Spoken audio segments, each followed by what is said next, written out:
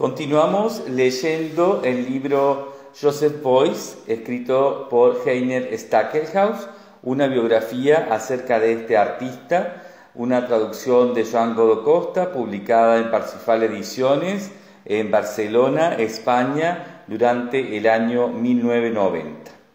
Estamos leyendo en esta ocasión el último capítulo, eh, en realidad eh, estamos leyendo, bueno, el capítulo que, se, que va a dar cierre al desarrollo teórico de toda esta mm, investigación que culmina en la publicación de esta biografía, pero no es el último material que figura en el libro, ¿no?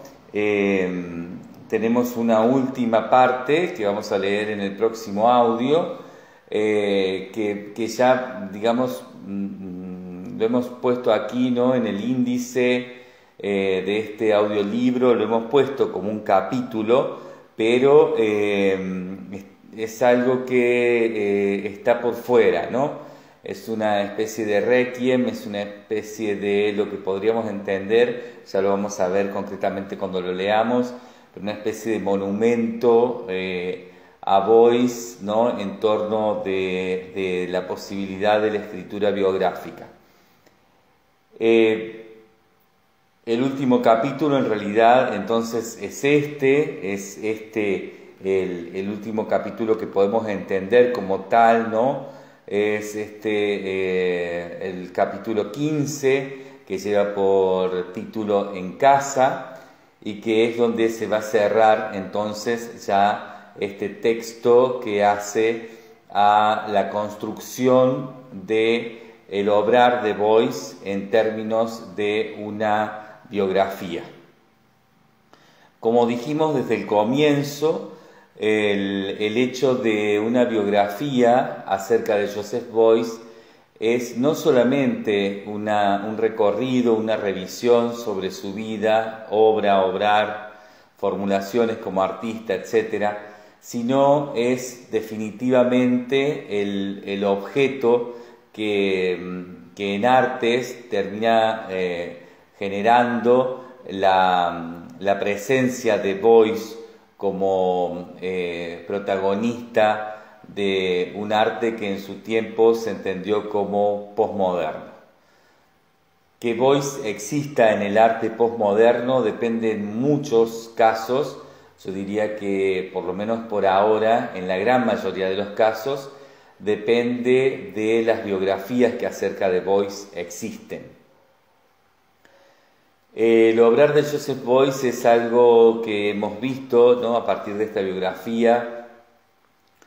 Eh, es algo muy complejo, es algo que tiene, que está muy, es algo muy compuesto compuesto por muchas partes, es, una, es un conjunto de prácticas, de experiencias que no son fáciles de, eh, determinar dentro de lo que el arte incluso hoy nos, eh, nos da como opciones de género, como opciones eh, de, posibilidades disciplinales, eh, de nombramiento o como estilos, entre comillas, ¿no? O como, bueno, como sea que se pueda llamar y se haya podido llamar también en esa época, ¿no? En la posmodernidad, eh, estos géneros que el arte nos permite para poder ir entendiendo ¿no? los movimientos, los, las acciones de los artistas, los obrares, las obras, eh,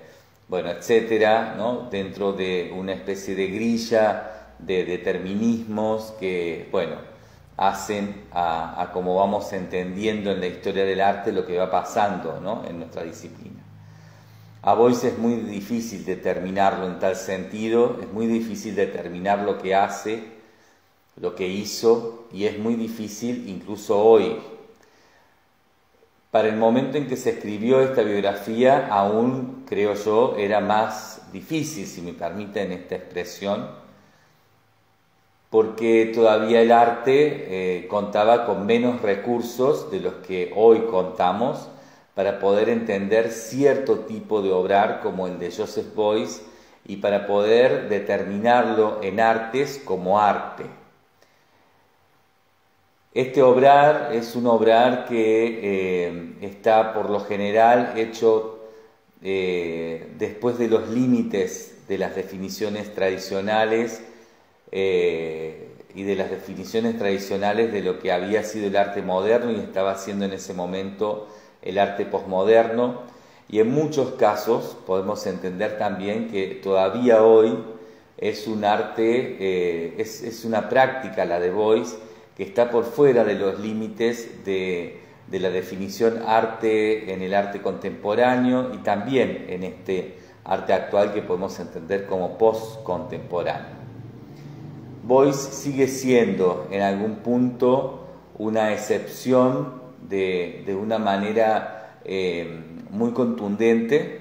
Su trabajo sigue siendo una, un conjunto de prácticas y experiencias muy interrelacionadas, muy simultáneas, muy absolutamente transparentes unas en las otras y a la vez de, una necesidad de cuerpo opaco, de determinación obra, que, bueno, genera una enorme paradoja a la que el arte todavía no puede resolver más que en, en ciertas opciones que muchas veces eh, resultan eh, poco adecuadas o contradictorias o muy tensas o poco productivas, etc.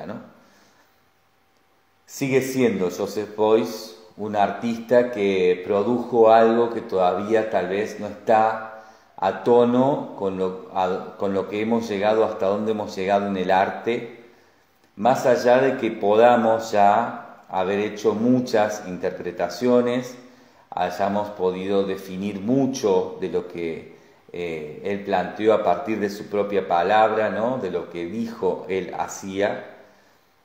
Eh, más allá de todo eso, ¿no? más allá de, que hemos podido incluso ya superarlo, dejarlo atrás en algunos casos, ¿no? para algunos eh, lineamientos de la escritura de la historia del arte, para algunos lineamientos críticos sobre el presente del arte, y que, bueno, de alguna forma, ¿no? Boyce ya representa algo que está en el pasado, que está definido, está cerrado, es un bloque eh, que, que tiene una forma que ha sido conformado dentro de la historia del arte como una de sus celdas, ¿no? En el panal gigante que es eh, gigantesco, infinito, ¿no? que es el arte, pero que finalmente tiene una forma y es aprehensible en una percepción sensible del límite. Eh, Boyce ha sido ¿no? ya tal vez entonces por muchos eh, superado, dado ya como por visto. ¿no? no obstante, insisto, creo que a Boyce le falta todavía eh, mucho por darnos, le falta en ese sentido al arte, mucho por revisar en Joseph Boyce, en su obrar, en su vida, en su manera de plantear algo que va más allá incluso de lo que hoy entendemos como formulación de artista. Eh, y creo que bueno, nos toca especialmente a los artistas, además revisarlo, nos toca a los artistas ponernos en ese sentido a, pensar ¿no? Más abiertamente por fuera de los determinismos de nuestra disciplina. Nos toca pensar a Boyce y a lo que hizo en relación a algo más esencial, a algo más eh, profundo, algo más natural, eh, al arte de todos los tiempos, que, bueno, tal vez sea lo que en algún momento vuelva a traer a Boyce a una actualidad absolutamente presente y que sirva para tal vez comprender lo que está pasando en lo actual. En ese sentido, bueno, lo, que hasta ahora ha dado un poco más de claridad sobre esta, esta situación, ¿no? De obrar, de, de accionar, de, de estar en el mundo, de hacer, de producir, eh, de generar, de etcétera, de formular, ¿no? Lo, que más ha, sido, creo yo, lo más rico que hemos podido ir generando, ¿no? Y eh, lo que más ricamente se ha ido dando para poder ver esto con, la mayor complejidad y en ese sentido generándonos más herramientas para nosotros mismos en el presente, ¿no? Han sido las biografías, donde mejor se puede entender a Boyce, donde mejor se puede comprender a Boyce, donde mejor se puede utilizar eh, en pos de herramientas y de de maneras de entendimiento, de comprensión de lo actual, de nosotros mismos, e incluso de identificación con las problemáticas eh, del arte, eh, es en las biografías. ¿no? A Boyce se lo encuentra mejor en las biografías que en ninguna otra cosa, al menos permitan esa opinión, ¿no? Permitan esa opinión, es solo eso, bueno, hay algunos que creerán que y sabrán y ese será su, su manera de entender, ¿no? que mejor eh, podemos encontrarlo a Boyce en las exposiciones, en lo que quedó de su trabajo en términos de obra, barra objetos de arte, en las colecciones, en los textos propiamente escritos por Boyce, en las entrevistas eh, dadas por Boyce, en las participaciones de Boyce en exposiciones internacionales con proyectos muy fuertes como fueron sus proyectos en las eh, Bienales de Venecia, la Bienal de San Pablo, eh, o por supuesto las documentas en Kassel. Bueno, hay muchas formas de, eh, de entrar sobre el legado de Boyce y hay muchas formas de definir seguramente cuál ha sido el obrar de Joseph Boyce y qué de esto nos sirve hoy y cómo para, como un, como un obrar vivo, como un obrar fluxus, ¿no? Eh, como, como, esa posibilidad de eh, tener hoy herramientas siempre eh, renovables, siempre reciclables, que nos permitan actuar y formular en artes de una manera mucho más consciente. ¿no?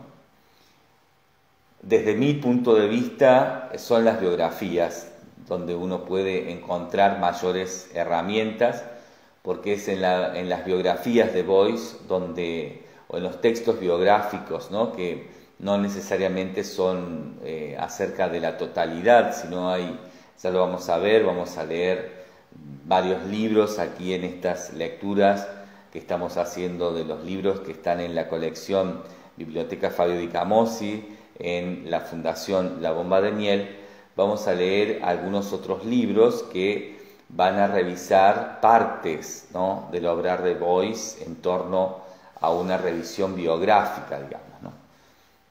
no necesariamente hablar de biografía es hablar de una revisión de la totalidad de la vida obrar de Boyce, sino eh, a veces eh, lo biográfico es por partes, ¿no? A veces se centra en eh, algunos aspectos, en algunos obrares en particular, etc. Eh, lo importante para mí es señalar que desde mi punto de vista al menos, ¿no? Eh, donde se lo encuentra Boyce es en estas revisiones biográficas, a veces de la totalidad de su vida y obrar, a veces de fragmentos de esa vida y obrar, de partes de esa vida y obrar, pero es ahí donde mejor se lo encuentra y mejor se lo encuentra en este legado fluxus, ¿no? en este legado eh, plástico, flexible eh, que, nos dejó Boyce en torno a lo verdadero de su, de su hacer en artes, ¿no? en torno a algo que son datos para poder nosotros utilizar a nuestro favor, utilizar según nos convenga, utilizar según lo necesitemos. ¿no? Boyce claramente hizo eso siempre en su propia vida, en su propia eh, percepción, a partir de su propia percepción en torno a su propia definición. Y estuvo muy interesado en que eso fuera así después de su muerte para quienes pudieran acceder y quisieran eh, estudiarlo, quisieran tomarlo como referencia, quisieran tomar de él eh, partes para poder mejorar sus vidas, para poder mejorar sus prácticas, caso, por ejemplo, nuestras prácticas como artistas, nuestras prácticas como agentes en artes, etc. Boyce quiso, tuvo esa necesidad y trabajó mucho, muchísimo diría yo, para dejarnos un legado vivo, un legado eh, plástico, flexible, absolutamente moldeable, eh, que, que en su intención jamás fue que quedara determinado como la verdad o como lo en verdad, sino como lo verdadero, ¿no? Como algo que viene justamente de la verdad, que se entiende como lo en verdad y que a eso se lo, se lo manipula según como uno lo necesite, ¿no?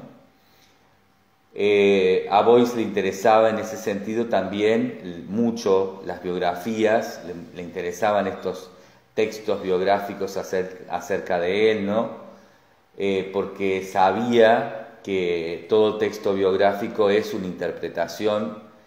Eh, Boyce, bueno, en la crisis del, formato biografía de artista que hemos comentado en capítulos anteriores, que se da aproximadamente entre el año 75 y el año 85, Boyce trabaja con este biógrafo, con, este biógrafo, con Heiner Stackelhaus, trabaja mucho esa noción, estudia mucho esa noción y, está al tanto de que, bueno, aquello que se entendía en las biografías de artistas como la posibilidad, ¿no? Tanto también, por ejemplo, como en las retrospectivas de la obra de un artista, ¿no? Una vez que moría, y se hacía una retrospectiva total, entre comillas, ¿no? De toda la obra que había producido en su vida Boyce empezó a entender que nada de eso tenía posibilidad de ser ese valor documental en torno a, la verdad y a lo en verdad, ¿no? sino que eso tenía siempre la posibilidad de ser algo verdadero, es decir, una manipulación de los hechos en torno a intereses personales de quien sea el autor de esa biografía, el autor de esa retrospectiva, eh, como curador o como organizador o como lo que fuere, ¿no? En este caso, bueno, para esta biografía en la que trabajó con Heiner Stackelhaus, es tanto Stackelhaus como Boyce eh, son quienes eh, organizan estas verdades en verdad y que van a mm, determinar finalmente en este texto como lo verdadero acerca de Joseph Boyce. Es Boyce y es Stackelhaus son quienes eh, van a entender claramente esto, van a entender que aquí no se trata de contar la verdad en verdad, sino que esto es un, texto que eh, está hablando de lo que Boyce hizo, de lo que Boyce fue, de lo que Boyce obró, de cómo vivió en relación a intereses personales que van a modificar los datos eh, según eh, los objetivos de esos intereses personales, ¿no? para cumplirlos, y que además van a, en eso, por ejemplo, en esa modificación, van a agregar cosas que tal vez no sucedieron así en lo que se entiende en la verdad de los hechos, ¿no? tal vez en verdad no sucedieron así, eh, o que o van a sacar datos, ¿no? van, a, van a omitir, van a dejar afuera, van a silenciar datos que eh, por alguna razón no convienen a la estructura general de lo que quieren contarnos ¿no? en esta narrativa como lo verdadero acerca de la vida y el obrar de Joseph Boyce. En esta dirección es que entonces se da esta escritura, se da en el presente, ¿no? En ese presente, año 87, la aparición de este texto, de este texto eh, de Heiner Stackelhaus, eh, un texto, insisto, firmado por Heiner Stackelhaus, pero seguramente muy eh, revisado y de alguna manera eh, comprobado, eh, legitimado, aceptado, aprobado por Joseph Boyce, más allá de lo que se diga después, ¿no? porque se dijeron muchas cosas acerca de, este, esta biografía, desde que Boyce no estaba de acuerdo con esta biografía hasta que esta biografía fue literalmente escrita por Boyce y solo firmada por Stackelhaus, ¿no? Bueno, está, digamos, muy polarizada la investigación sobre eso y hay razones que cada investigador da que la verdad son bastante contundentes para poder comprender que todo eso pasó, ¿no? Tanto que Boyce nunca quiso que apareciera esta biografía así, como que estaba empecinado en que apareciera esta biografía así, ¿no? Sabiendo Boyce, como lo hemos visto en los capítulos anteriores, que estaba cerca de su muerte, ¿no? A partir del año 81, él sintió ya que algo pasaba con su salud, que venía teniendo ciertos eventos, ¿no? De salud que le indicaban que podía ser eh, que la muerte estuviera cerca, que su muerte estuviera cerca, entonces, bueno, es cuando se va dando el proceso más fuerte de esta investigación en torno a poder eh, determinar con Boyce en vida esta, este texto acerca de lo verdadero de eh, la vida y obrar de Joseph Boyce. Eh, hemos venido viendo entonces que este relato es esto, ¿no? es, es lo verdadero acerca de Joseph Boyce y que en eso de lo verdadero es uno de los relatos de lo verdadero. ¿no? Hay muchos otros relatos, hay muchas otras biografías, y esas biografías, aparte de esta, ¿no? además de esta biografía de Heiner Stackelhaus, son por lo general todas muy diferentes, no hay ninguna que eh, en sí se, se manifieste sobre un hilo común si bien todas tratan de una manera similar, al menos las que, eh, las que yo conozco, ¿no? Tratan de una manera similar los temas, eh, no todas logran arribar a las mismas posibilidades de, conclusión o, cercano a eso, eh, y muchas plantean incluso absolutas, absolutos opuestos, ¿no? En las biografías de Boyce uno encuentra muchas oposiciones entre, entre distintas cosas. ¿no? Uno encuentra que un autor dice una cosa y otro autor dice lo absolutamente opuesto sobre la, misma cuestión, por ejemplo. ¿no? Uno encuentra que sobre proyectos ¿no? como eh, la bomba de miel o el proyecto Coyote, o, el último proyecto de Boyce ¿no? en Italia, esta última instalación, ¿no? Eh, Palazzo Regazo, eh, son proyectos muy controversiales para los cuales algunos autores dicen una cosa y otros dicen todo lo opuesto y otros transversalizan en unos dichos que no tienen nada que ver con esas eh, posibilidades binarias, etc. Por lo tanto, el legado de Boyce finalmente es un legado vivo, es un legado de obrar en términos de una eh, posibilidad de lo verdadero y es un legado pura y netamente en ese sentido de carácter y de, y de forma, de, de, espíritu de un tiempo eh, muy ligado, yo diría que absolutamente representativo de la posmodernidad. Tanto Joseph Boyce como Andy Warhol comparten, ¿no? Lo hemos venido viendo en esta biografía y por eso lo, nombro así, digo esto, como en, todos los momentos en que he nombrado esta, esta comparativa. Andy Warhol como Joseph Boyce fueron los grandes representantes de la posmodernidad para el final mismo de la posmodernidad, o sea, la posmodernidad eh, cuando ellos mueren, que mueren muy cerca ¿no? en, tiempo, a finales de los años 80, cuando mueren eh, ya se estaba revisando claramente y diciendo ¿no? claramente, acá lo hemos visto eh, efectivamente en lo que nos cuenta el, el, autor de esta biografía, se estaba revisando los obrares de, Warhol y de Boyce eh, ya con mucha legitimidad en torno a ser representantes, los grandes representantes de la posmodernidad en artes. Por supuesto, eso es relativo también a quien eh, lo escriba y desde dónde se haga la investigación, ¿no? desde qué punto de vista y en, base a qué hipótesis y sobre qué eh, objetivo final. ¿no?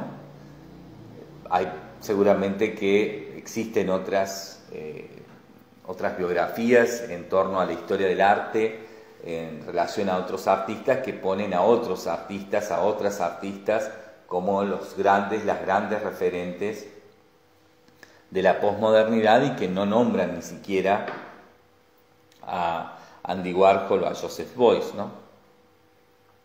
Esto, por supuesto, bueno, es algo que es así siempre, ¿no? Es, todo es muy relativo, todo, bueno, es significativo de cada, de cada contexto eh, de, de determinación histórica en particular, etcétera.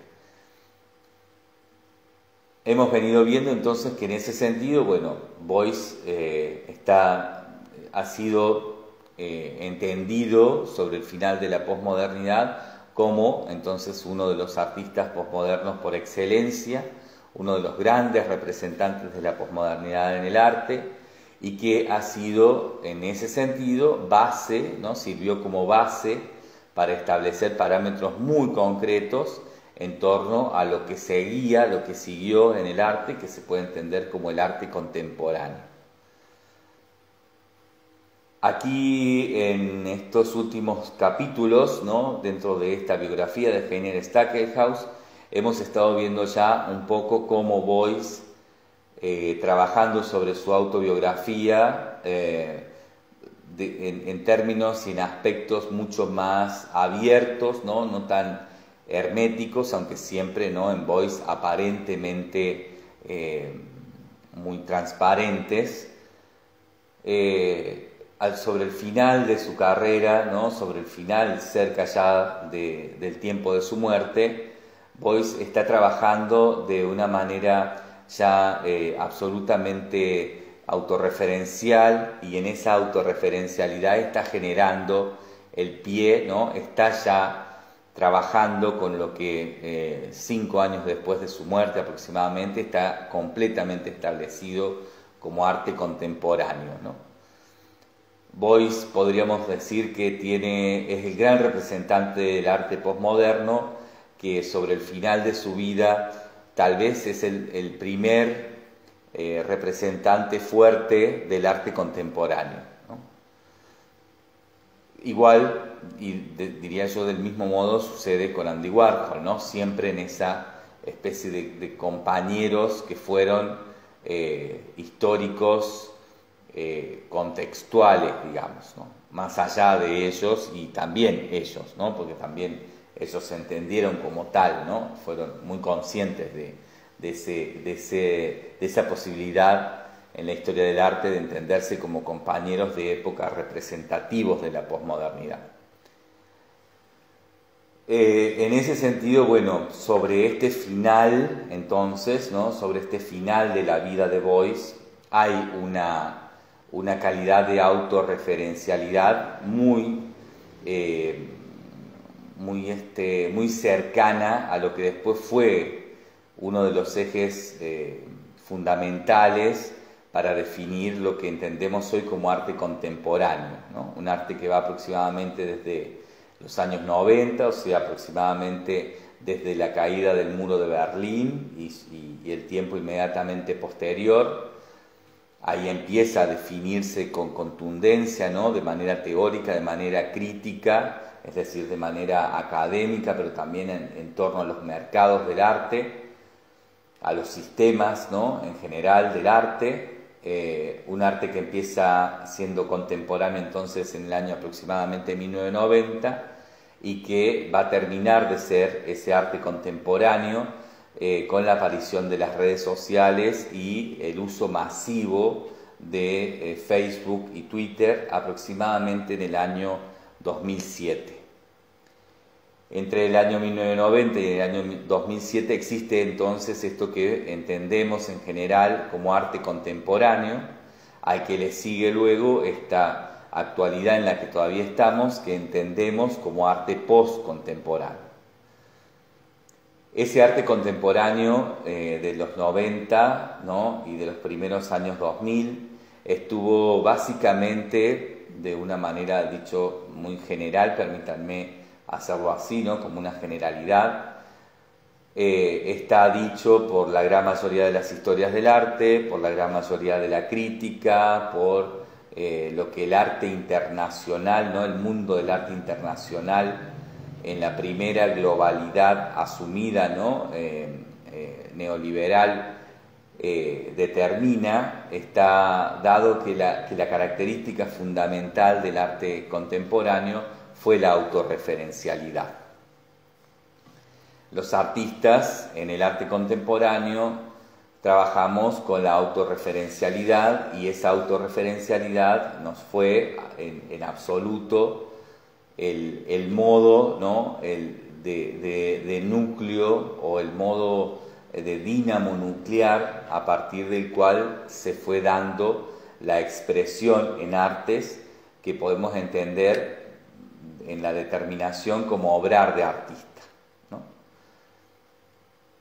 Un obrar de artista que eh, se refiere a una vida vivida a partir de las herramientas del arte, con el arte presente eh, a cada momento y con eso ¿no?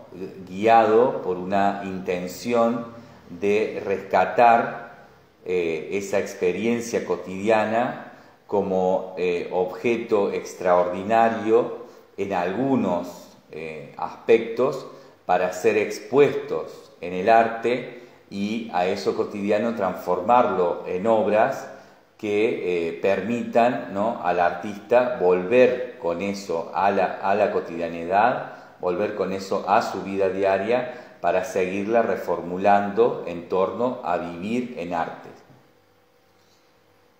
Este obrar de artista es lo que seguramente Boyce, seguramente Warhol venían trabajando, ¿no? Lo hemos visto claramente en Boyce, lo vamos a ver claramente en nuestras lecturas de, de, Warhol, que se harán después de que terminemos de leer estos libros de Boyce que están en la colección Biblioteca Fabio de Camose, aquí en la Fundación La Bomba de Miel.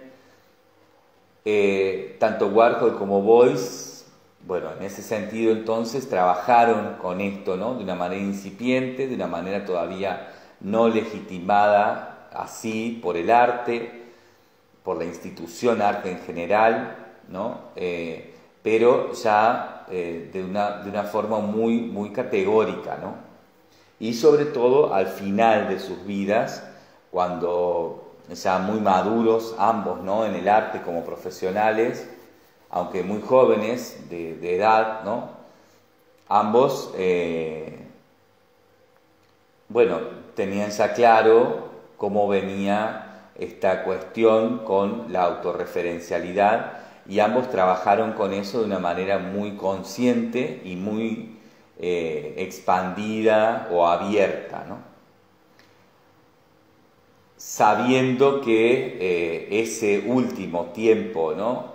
Legado no iba a ser legitimado en el presente mismo cuando estaba ocurriendo, sino que le iba a faltar un tiempo todavía, ¿no? Eso ya, ya percibían el cambio de la posmodernidad en el arte a la contemporaneidad en el arte y eh, fueron viendo ¿no? que, que, ellos estaban a, tono de, de, eso, que estaban trabajando ya con eso y que bueno, seguramente esos obrares, estos últimos obrares de ambos, iban a poder ser entendidos, legitimados, eh, establecidos como arte años después, ¿no? cuando ya el arte dejara, hubiera dejado de ser postcontemporáneo y se hubiera transformado en otra cosa que para ese momento todavía no se sabía qué, pero que hoy sabemos es lo que vino después como denominado arte contemporáneo. Eh, en esa dirección entonces es que eh, esta biografía también se plantea el hecho de eh, terminar con este capítulo, este cierre de un voice que lo vamos a ver ya en, términos de una, de, una especie de autopercepción y también de un conocimiento del autor, ¿no? de Heiner Stackelhaus, de eso que hacía su vida diaria, a su vida cotidiana, a eh, lo que podemos entender, ¿no? Fue después, como decía, el eje del el arte contemporáneo, el motor, el dínamo del, arte contemporáneo, que es la autorreferencialidad, ¿no? Este último capítulo eh, va a hablar un poco de eso, ¿no? Va a hablar un poco de eso y va a, terminar, a cerrar el libro también en, torno a esta eh, manera de la historia del arte en ese momento, ¿no? finales de los años 80, de ir planteando ya esta, superposición que se estaba dando entre el final del arte posmoderno y el comienzo del arte contemporáneo. Este capítulo nos deja en claro que tanto el autor de la biografía, General Stackenhaus, como Boyce, y seguramente las instituciones, las otras personas interesadas en que esta, eh, interesadas en que esta biografía apareciera para determinar el obrar de Boyce de una manera contundente y fuerte ¿no? en artes, determinar la importancia de Boyce como artista a nivel internacional, entendieron esto, ¿no? comprendieron que había que cerrar la vida ¿no? y el obrar de Boyce con una referencia eh, o con una, sí, bueno, permítanme la redundancia, con una referencia autorreferencial, digamos. Eh, y luego de esta referencia autorreferencial, este requiem, ¿no? esta especie de primera revisión de la muerte de Boyce como también parte de la vida de Boyce. Eso también es muy importante porque eh, la muerte empieza a ser parte de la acción, ¿no? empieza a ser parte del obrar de un artista. Son épocas, finales de los años 80, donde, donde empiezan a aparecer muchos libros, muchas investigaciones, ¿no? diría yo que sistemáticamente empezaron a aparecer, es decir, se transformó en un interés editorial por ejemplo, ¿no? Y seguramente que académico, por alguna razón, va, existen, ¿no? Son claras las razones, no vamos a, ahondar en eso, pero eh, no vamos a entrar directamente en eso, ¿no? Lo dejo planteado por si quieren investigarlo. Aparecen, ¿no? Muchos textos referidos a eh, los, los fundamentos en relación a las muertes de los artistas, ¿no? Hubieron en ese momento, finales de los años 80, también muchas muertes de artistas que habían sido paradigmáticos de toda la modernidad y de toda la posmodernidad, artistas, arquitectos, músicos, cineastas, eh, etcétera, ¿no? Eh, directores de teatro o, escritores eh, en todo sentido, filósofos. Bueno, hubo una serie de muertes célebres ¿no? que si bien venían, venía refiriéndose ¿no? desde la modernidad y en la posmodernidad muchas cosas en el arte a las muertes de los artistas, ¿no?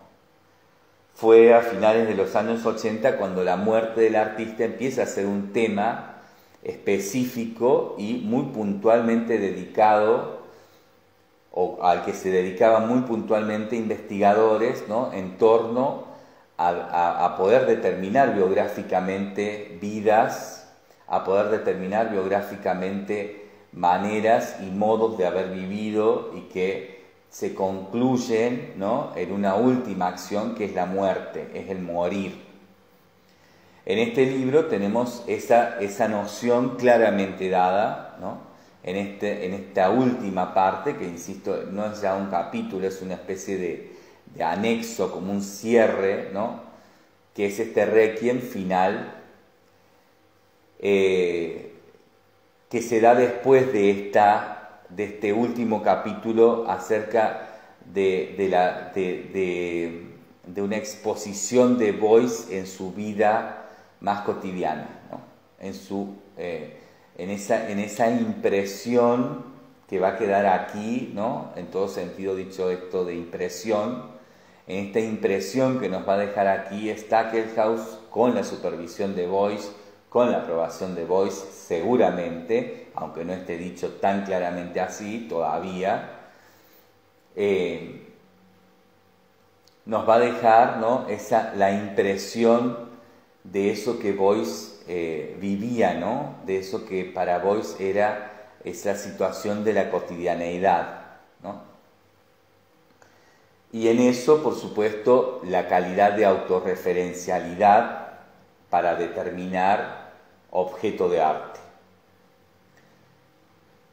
Eh, vamos entonces a leer este capítulo con esta, eh, hago esta introducción para poder comprenderlo ¿no? en, su contexto, tanto de, investigación como de escritura y aparición en, la, en, este libro, ¿no? O sea, por qué fue incluido esto en este libro y por qué esto fue incluido como último capítulo, ¿no? Y por qué esto está incluido antes de esto que se llama o que determina ¿no? el autor como un requiem, que es acerca ¿no? de la muerte de Boyce. Esta biografía entonces empieza con, con, la aparición de Boyce en la vida y termina con la desaparición de Boyce en la vida, ¿no? Pero la desaparición no como un hecho ajeno a la vida, sino como parte de la vida de Boyce, ¿no? La muerte como parte de la vida, no como un hecho que se da después de, sino que se da dentro de. ¿no? La muerte como algo que se da dentro de la vida de Boyce. Para cerrar este, este libro con ese requiem, va a entrar entonces Stackelhaus después de haber venido en, el último capítulo, ¿no? De una manera ya muy, muy eh, muy este, amable, ¿no? dándonos de alguna forma eh, indicios de que ya estaba cerrando la biografía, ¿no? de que ya venía empezando a, concluir. Eh, aquí nos, bueno, nos va a, contar un poco ¿no? de esto para poder ya ir, ir conformando este cierre. ¿no? Cierre que, insisto, habla de la apertura de un nuevo tiempo en el arte, cierre que, en ese sentido, ¿no? dentro de este texto, esto que, fue tan importante y que apareció, como lo hemos dicho muchas veces y vuelvo a decirlo, apenas un año después, en ese, en ese espacio que va entre vida barra muerte de Boyce, eh, apenas un año después de, de eh, muerto, ¿no? Este texto tan importante que hoy nos parece muy básico, ¿no? De muchas maneras yo creo que es un texto muy básico porque después las biografías que aparecieron, ¿no? Extensísimas, absolutamente desarrolladas en muchos aspectos, eh, desde lugares más académicos, más contundentes, más este, representativos de cierto rigor en la investigación, etcétera nos dan que esta biografía es algo más básico, es algo eh, que algunos incluso llamaron libro de artista, ¿no? Eh, lo, entienden como una última producción de Boyce en, colaboración con Stackelhaus, eh, o de Stackelhaus en, en, colaboración con Boyce, no importa, ¿no? Ambos colaborando con esta producción que no busca un rigor académico, sino que está abriéndose a una expresión mucho más plástica que de otro carácter. Eh, en este sentido entonces es que, bueno, vamos a leer este, este último capítulo y que marca el comienzo, el final de, todo un recorrido, eh, que en este libro se trata de un recorrido biográfico, y también el final de una época que es la época y determinación de la de lo que entendemos como posmodernidad, ¿no? siempre hablando específicamente, en, nuestro caso, en el arte. ¿no? Y este capítulo es, es la apertura también a eso que ya se estaba solapando, que ya estaba ocurriendo y que dos, tres años después ¿no? de aparecer esta biografía se iba a determinar con, claridad y con ese nombre, ¿no? con esa eh, definición como arte contemporáneo. Vamos entonces a empezar con la lectura. Este capítulo, como les comentaba, se llama En casa.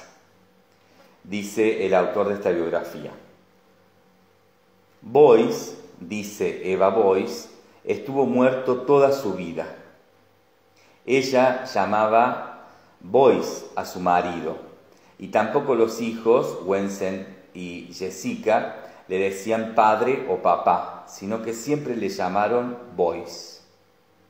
Estuvo muerto toda su vida, dice Eva Boyce, pero siempre estuvo muy vivo.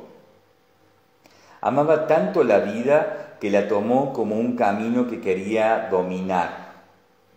Dice que Boyce recorrió el camino de la vida y el camino de la muerte con absoluta seguridad. Esto ocurrió hasta la obra, hasta el obrar Palazzo Regal. Se conocieron en 1958 en una fiesta de carnaval en la Academia de Bellas Artes de Düsseldorf. ¿no? Ahí se conoce Eva Boyce y Joseph Boyce. Era la primera vez después de su depresión que Boyce volvía a andar entre seres humanos. Eva recuerda lo siguiente, y dice Eva Boyce. Al principio siempre llevaba cagarrutas secas de liebre en el bolsillo de sus camisas, ¿no? Recuerda Eva Boyce. Continúa diciendo el autor, exactamente como hacía el padre de ella, que era un conocido profesor de zoología en Bonn. En Bonn perdón. Pero esta manía no le impidió a Boyce desarrollar una predilección por la ropa de vestir de primera clase. Era el hombre mejor trajeado de la academia. Sus camisas, los zapatos, el sombrero, todo era de lo más fino. Al principio, Boyce solo llevaba camisas de franela y corbatas negras con un huesecito maxilar de liebre como alfiler de corbata. Eva hizo que se acostumbrase a llevar tejanos.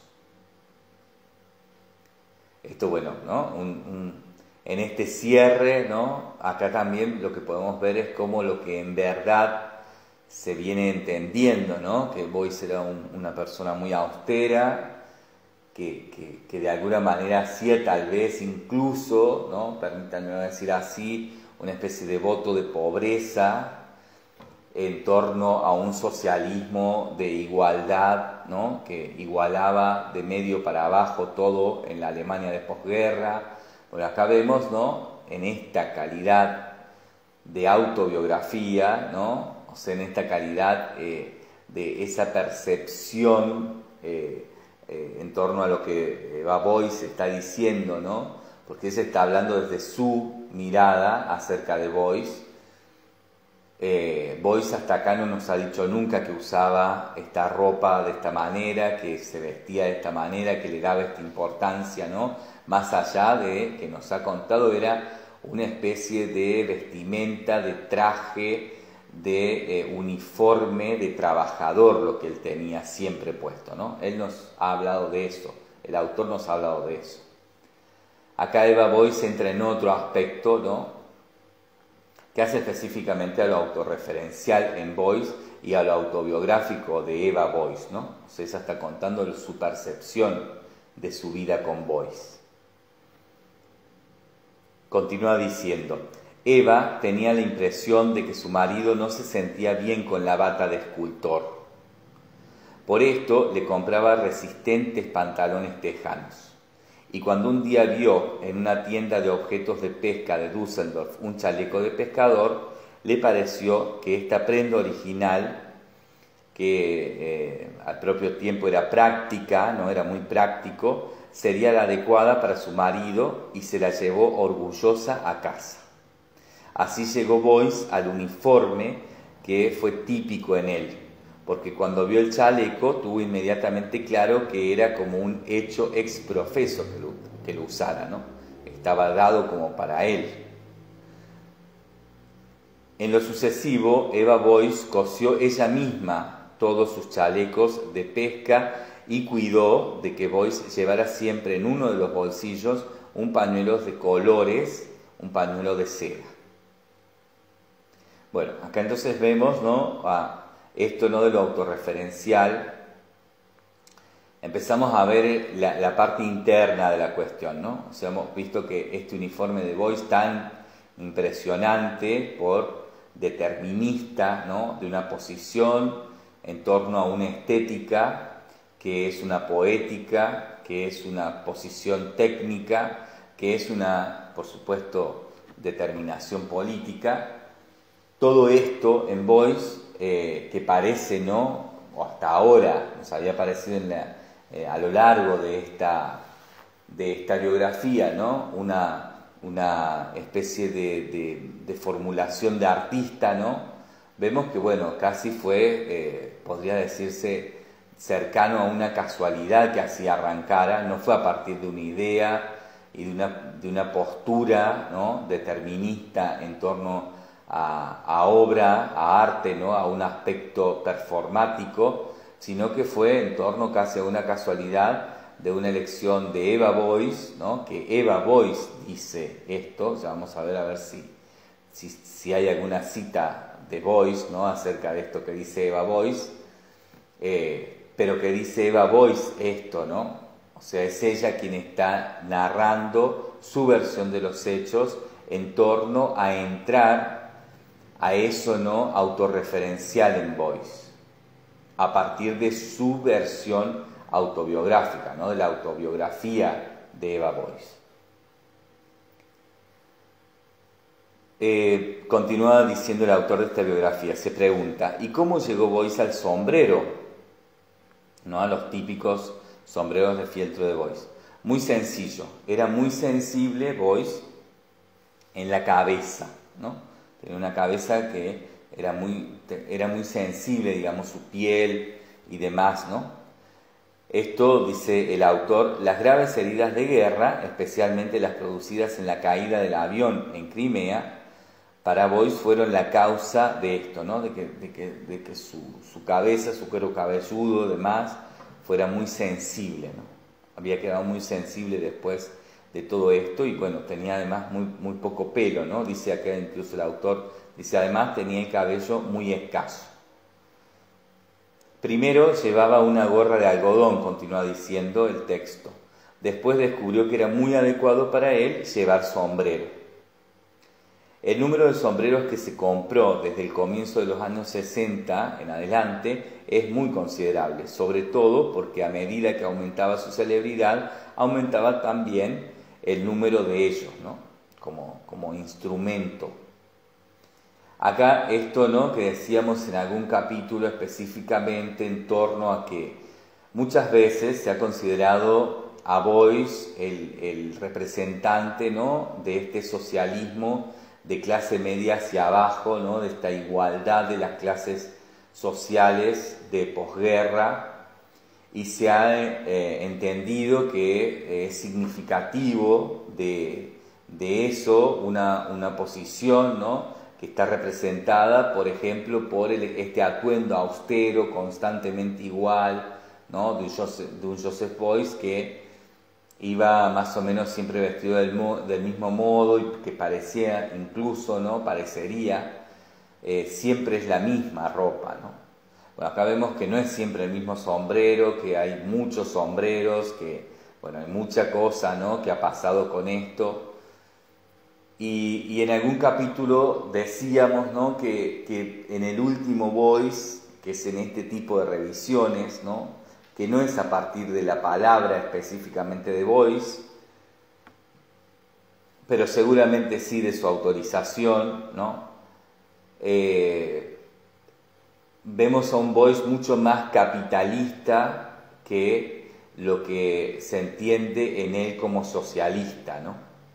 E incluso, como también siempre hemos dicho, eh, en, una, en, un, en un en un desborde del socialismo tradicional, digamos, de esa eh, República Alemana, a una especie de comunismo teórico, ¿no? no el comunismo de práctica comunística, comunista de la Unión Soviética, pero sí a un comunismo teórico al que Boyce era afín. ¿no? Entonces en eso, en esa especie de socialcomunismo, si me lo permiten, Boyce aparece siempre muy, muy claramente plantado desde su apariencia y desde su imagen como un ícono ¿no? de cierta igualdad que imponía nivelar de la mitad para abajo, digamos, ¿no? de lo medio para abajo, podríamos decir en términos actuales de lo que entendemos de esa época, ¿no? de la clase media para abajo, hacia la clase trabajadora de posguerra, que era una clase trabajadora pobre, ¿no? o sea, que tenía muy poco acceso al consumo, al consumo de, de, distintos tipos de bienes, como por ejemplo la indumentaria, ¿no? Usaba, la gente usaba un uniforme eh, que era muy básico y que era muy económico, digamos, ¿no? y que por, además, por lo general, eh, se, lo, se, lo, brindaba el Estado. ¿no? Boyce parecería, hasta aquí, y en lo que hemos venido leyendo en esta biografía, era partícipe de toda esa, esa manera y ese movimiento social que iba imponiéndose también en esta estética y en estas formas, ¿no? como por ejemplo la vestimenta. Pero acá vemos que no, ¿no? que Boyce era mucho más consumista y mucho más en ese sentido, ¿no? vamos a, permitirnos esta, esta dualidad y esta polaridad, porque la está dejando entre líneas el autor, ¿no? en algunos capítulos la ha dejado entre líneas y sobre todo lo hemos analizado en algún momento que hemos dicho, bueno, Warhol termina siendo al final de su vida mucho más socialista que capitalista y Boyce termina siendo mucho más capitalista que socialista para ese enfrentamiento doctrinal que ocurrió en términos de la Guerra Fría, en términos de la posmodernidad, etc. ¿no? Eh, Aquí lo que se puede ver ¿no? es, esa vuelta, o sea, es, bueno, a ver, ¿cuál es el icono artista Joseph Boyce y qué es lo que pasaba en el interior, ¿no? en lo autorreferencial Joseph Boyce? ¿no? Bueno, acá en el interior referencial, dado en este caso por, el, por, por lo que nos cuenta Eva Boyce y lo que nos está diciendo aquí el autor, todavía sin mayores referencias, vemos que Boyce no era tan eh, de, la calidad de obrero de nivel medio para abajo, digamos, ¿no? No era de la calidad de obrero eh, en, términos del socialismo, ¿no? De, esa masa que, se manejaba eh, junta en, igualdad de condiciones para salir adelante juntos, ¿no? En igualdad de condiciones sino que Boyce estaba en otra situación y hacía de eso uso y, muy claramente, ¿no? O sea, no bastante encubierto, bastante enmascarado, ¿no? Porque no obstante, siempre terminaba igualmente pareciendo de esa clase obrera a la que refería y de la cual siempre se sintió representante, ¿no? Representante en pos de poder él, desde lo que sabía y desde lo que era capaz, generar ¿no? en, esa, en esa clase trabajadora, en esa clase que tenía acceso a una educación básica y media, y, en, algunos casos, en, algunos, en algunas ciudades, en algunos contextos, a la educación eh, terciaria, universitaria, bueno, él ser quien iba a modificar ¿no? esa educación en torno al arte para que el arte les generara, les diera herramientas de creatividad para poder juntos, juntes, entre todos, mejorar la vida del ser humano ¿no? en esta cosa social comunista, si me lo permiten nuevamente. Siempre que digo comunismo, tengo que aclarar y quiero hacerlo que se trata de una versión teórica del comunismo. Vemos entonces aquí que, bueno, eso del, mito, ¿no? Y de, tal vez incluso del estereotipo Boyce, es muy diferente a lo que pasaba en esta realidad interna, ¿no? en lo que podemos entender como lo autorreferencial de Boyce. Continúa diciendo em, el autor de esta biografía. Eh, vuelvo a, leer esto, esto último, ¿no? Em, retomo desde ahí. El número de sombreros que se compró Boyce desde el comienzo de los años 60 es muy considerable, sobre todo porque a medida que aumentaba su celebridad, ¿no? vale subrayar eso, aumentaba su celebridad, aumentaba también el número de sombreros que necesitaba, digamos. O sea, consumismo ¿no? de, de celebridad y de éxito. Diría yo que incluso cabe la palabra fama, lo famoso, para esa época, ¿no? para los años 70, los años 80, ¿no? De una época de esplendor y de exceso de, esta cosa obscena de, exponerse, ¿no? En, torno a los objetos de poder que eran eh, esos objetos, ¿no? De, indumentaria, por ejemplo, ¿no? La aparición de las grandes marcas de, alta costura, etcétera, ¿no? Determinan esta no la aparición en el tiempo, sino la aparición en los sistemas populares, ¿no? determinan esa, esa importancia. Eh, Boyce, en ese sentido, ¿no? Juega con esto, ¿no? con esto que, que, en Warhol es tan claro, ¿no? lo de la fama y lo que implica ser famoso, ¿no? como, como Warhol decía, eh, a los famosos les cuesta mucho ser famoso, mucho más que a la persona común le, le, cuesta ser común, digamos. Eh, cosa, bueno, por supuesto, dicha por Warhol de una manera absolutamente socarrona y, sarcástica. ¿no?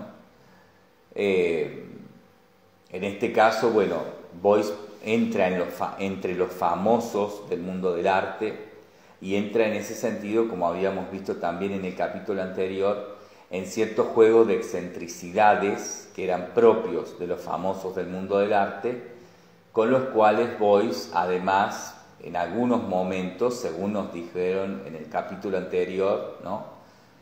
por ejemplo el caso de su participación ¿no? en una muestra individual en el Museo Guggenheim de Nueva York, Boyce usa ¿no? a su favor, en torno de un discurso crítico sobre el consumismo y demás, usa a su favor la fama y, los, y las ventajas de ser un personaje del arte internacional famoso, reconocido y uno de los grandes protagonistas además, de eso que se entendía como el mundo del arte de finales de los 70, principios de los años 80.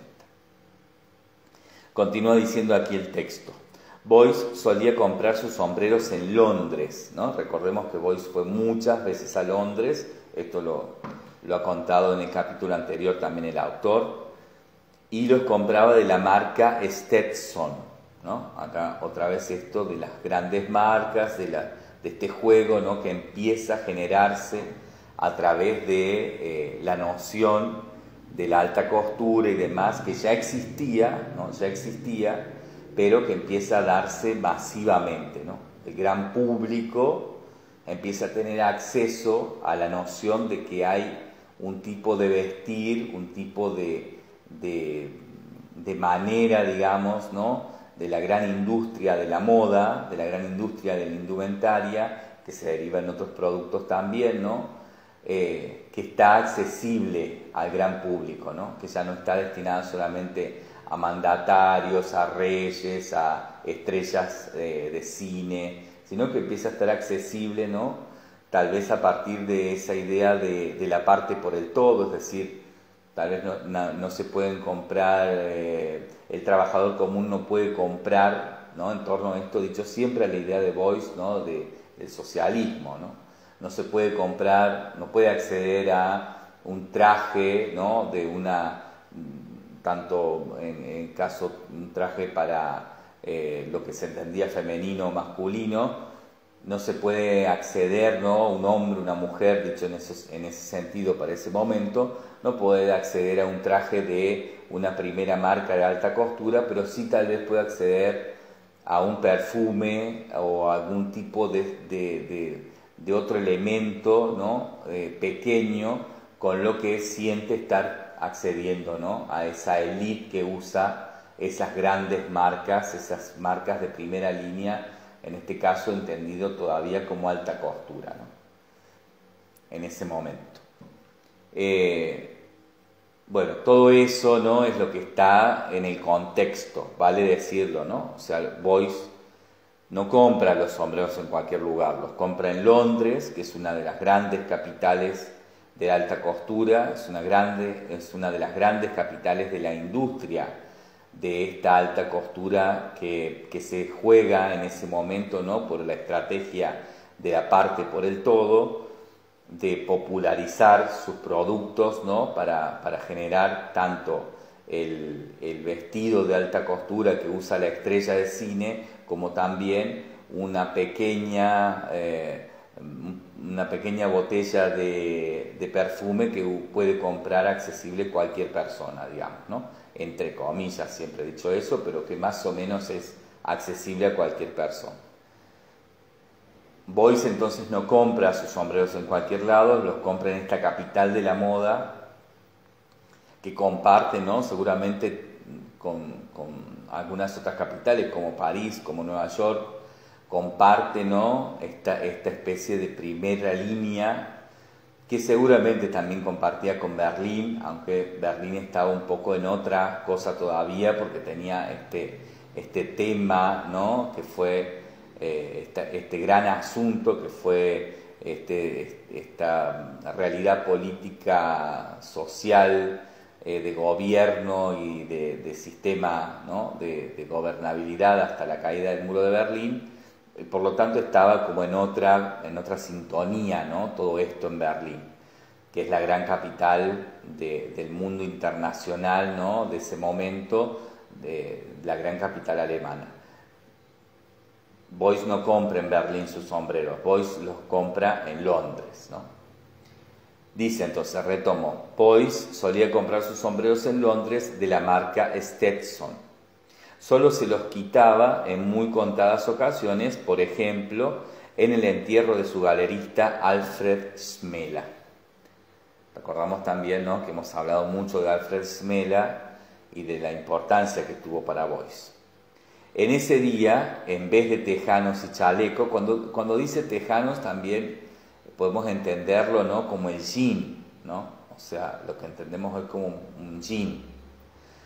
En algunos casos también es otro tipo de pantalón, ¿no? es otro tipo de tela, es otro tipo de confección, tiene bolsillos, tiene otra cosa no más a, lo que entendemos como un carpintero, como un, pantalón de carpintero o algo así, ¿no? Hay distintos momentos en Boyce, pero el jean era esta característica también, ¿no? esto que, se entiende como tejanos. Eh, en ese día entonces, en vez de tejano y chaleco de pescar, el día del entierro de Alfred Smela, eh, Boyce llevaba un traje gris de fieltro. Para Eva Boyce, el sombrero de fieltro era una prenda de Boyce tan íntima que ni siquiera se daba cuenta de que la llevaba puesta. Un par de veces sacrificó Boyce su sombrero a su arte, elaborándolo ¿no? a esto como objeto eh, en torno a algún discurso. ¿no? O sea, en algunos casos Boyce utilizó el sombrero en alguna obra sacrificándolo, digamos, o sea, no pudiendo utilizarlo más como sombrero. Em, continúa diciendo el texto, cuando quería provocar o estaba en disposición, ¿no? Boyce, de ironizar sobre sí mismo, solía hacer preguntas acerca de su sombrero, para responder que con demasiada frecuencia se había caído y había salido siempre con el tejado dañado. O sea, siempre Boyce bromeaba sobre sí mismo que, no estaba bien de la cabeza, digamos, ¿no? O sea, básicamente eso dicho entre comillas irrisoriamente, que no estaba bien de la cabeza y que, bueno, de alguna, de alguna manera el sombrero lo que, lo que ayudaba era proteger eso, ¿no? Y que, y que en, esa, en esa inteligencia de, la broma de Boyce, bueno, estar con el sombrero puesto implicaba que nadie se diera cuenta que estaba bastante este, loco, ¿no? que había quedado bastante afectado de los accidentes que tuvo en la cabeza y que no era muy eh, de la noción de lo normal. ¿no? Esta broma que Boyce hacía y que eh, jugaba muchas veces incluso con la pregunta, cuando le preguntaban claramente, o sea, bueno, ¿por qué usa este sombrero? O sea, ¿por qué? ¿Por qué este sombrero? ¿no? Cuando para usted todo tiene tantas implicancias de significado, ¿por qué usa sombrero? O sea, ¿qué significa el uso de este sombrero? Bueno, Boyce respondía muchas veces con esta especie de, juego de broma, ¿no? Continúa diciendo el texto, a Boyce le, agregaba, le agradaba cierto lujo. A Boyce le agradaba cierto lujo. Unas veces conducía un Cadillac, otras un Lincoln Continental o un Bentley. Bentley, perdón. Bentley, ¿no? Lo vamos a ver cómo se escribe. Decía Boyce que apreciaba las cualidades plásticas de su sedán de lujo, que por lo demás el último Bentley lo compró de segunda mano por eh, 20 mil marcos. Uno de sus Cadillacs, uno de sus Cadillacs, se le incendió delante de la Academia de Bellas Artes de Düsseldorf. Boyce era algo despreocupado en lo que respecta al dinero. Y Eva Boyce recuerda de los primeros tiempos difíciles que al empezar el año tenía que describirle el estado de sus finanzas y que Boyce tomaba entonces regularmente el importe bruto de sus ingresos como la medida del capital con que podía contar. Que de ello tuviera que descontar también impuestos le tenía siempre muy preocupado. El lujo y la escasez, los automóviles caros y la modesta vivienda donde vivían en Drakenplatz, en Düsseldorf Oberkassel, a donde se mudó el matrimonio desde Klipp en marzo del 61 es decir, una vez que se casaron y que, eh, que Boyce había salido de la depresión y que es cuando empieza su, su como hemos visto en esta biografía, ¿no? cuando empieza con su actividad profesional fuerte, ¿no? los años, el año 61 específicamente. En su estudio de Clear tuvo un gran accidente, nos cuenta aquí el autor, continúa diciendo quiso, limpiar un tubo de estufa obstruido, perdió el equilibrio y dio con la espalda contra el canto de la estufa de hierro. O sea, se cayó ¿no? y se golpeó la espalda muy fuertemente. Continúa diciendo el texto, quedó tan magullado que todo, sobre todo en un, en un riñón, o sea, se golpeó muy fuerte, ¿no? En un riñón y quedó muy afectado, que horas más tarde tuvo que ser llevado a un hospital de Düsseldorf. Al regresar a su casa, Boyce puso una bombilla roja en una pared de su gran salón comedor y dijo, siempre hay que estar despierto. A esto lo comentó refiriéndose a esta perpetua lámpara. Será algo que le, recordaba que había que prestar atención. Los muebles de la sala de estar continuado diciendo aquí el, autor ¿no? de la sala de estar de la casa de Boyce, eh, eran mesas, sillas, diván, un televisor, una enorme nevera, una enorme heladera, un hogar, o sea, una estufa hogar, un armario monumental procedente del taller del arquitecto de estilo modernista Olbrich, de pulido nogal, caoba y ébano. En los, numerosos, en los numerosos cajones de aquel hermoso armario se guardaban primeramente biberones, ropa blanca y vajilla. Luego Boyce lo usó a este bonito mueble para depositar sus dibujos y documentos diversos, ¿no? como una especie de planera. La alfombra de esta sala estaba hecha de pieles de vaca cocidas. En este aposento, Boyce no solo trabajaba, discutía, telefoneaba, sino que además comía con su familia y a menudo también con sus invitados. Le gustaba mucho cocinar. Sus platos favoritos eran las lentejas y las habas. También encontraba estupendo el jamón de Parma. Era bastante entendido en setas y especias con las que preparaba platos exquisitos.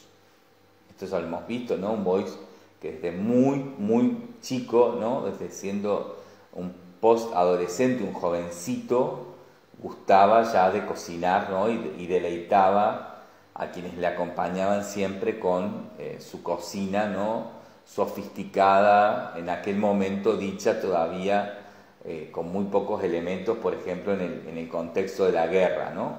una especie de, cocinero mago que con muy pocos elementos generaba algo este, muy impresionante, digamos. ¿no? Un poco también, como lo dijimos, esta, idea ¿no? de, la, reproducción de los panes, ¿no? esta, idea de la transformación de pequeñas cosas en manjares o en, o en abundancia. ¿no? Recordemos también el hecho de que cuenta, ¿no? hemos leído aquí en esta biografía, cuenta el biógrafo y también ¿no? va confirmando lo Boyce de alguna manera en sus impresiones sobre la guerra, que eh, en el último año de la guerra, cuando él estuvo ya habiendo finalizado la guerra, ¿no? que estuvo digamos en ese, en ese interín en que terminaba, entre que, eh, había, que estaba la guerra y que Barra terminaba la guerra, Boyce estuvo prisionero junto con otros compañeros del servicio militar eh, nazi. Estuvieron presos por los ingleses en una especie de, lugar donde la, principal función era que murieran, digamos. Eh, este lugar lo que hacía era eh, no darles de comer, en general les daba muy poco de comer, y Boyce salía ¿no? al exterior eh, de esta especie de, este pabellón rodeado, digamos, ¿no?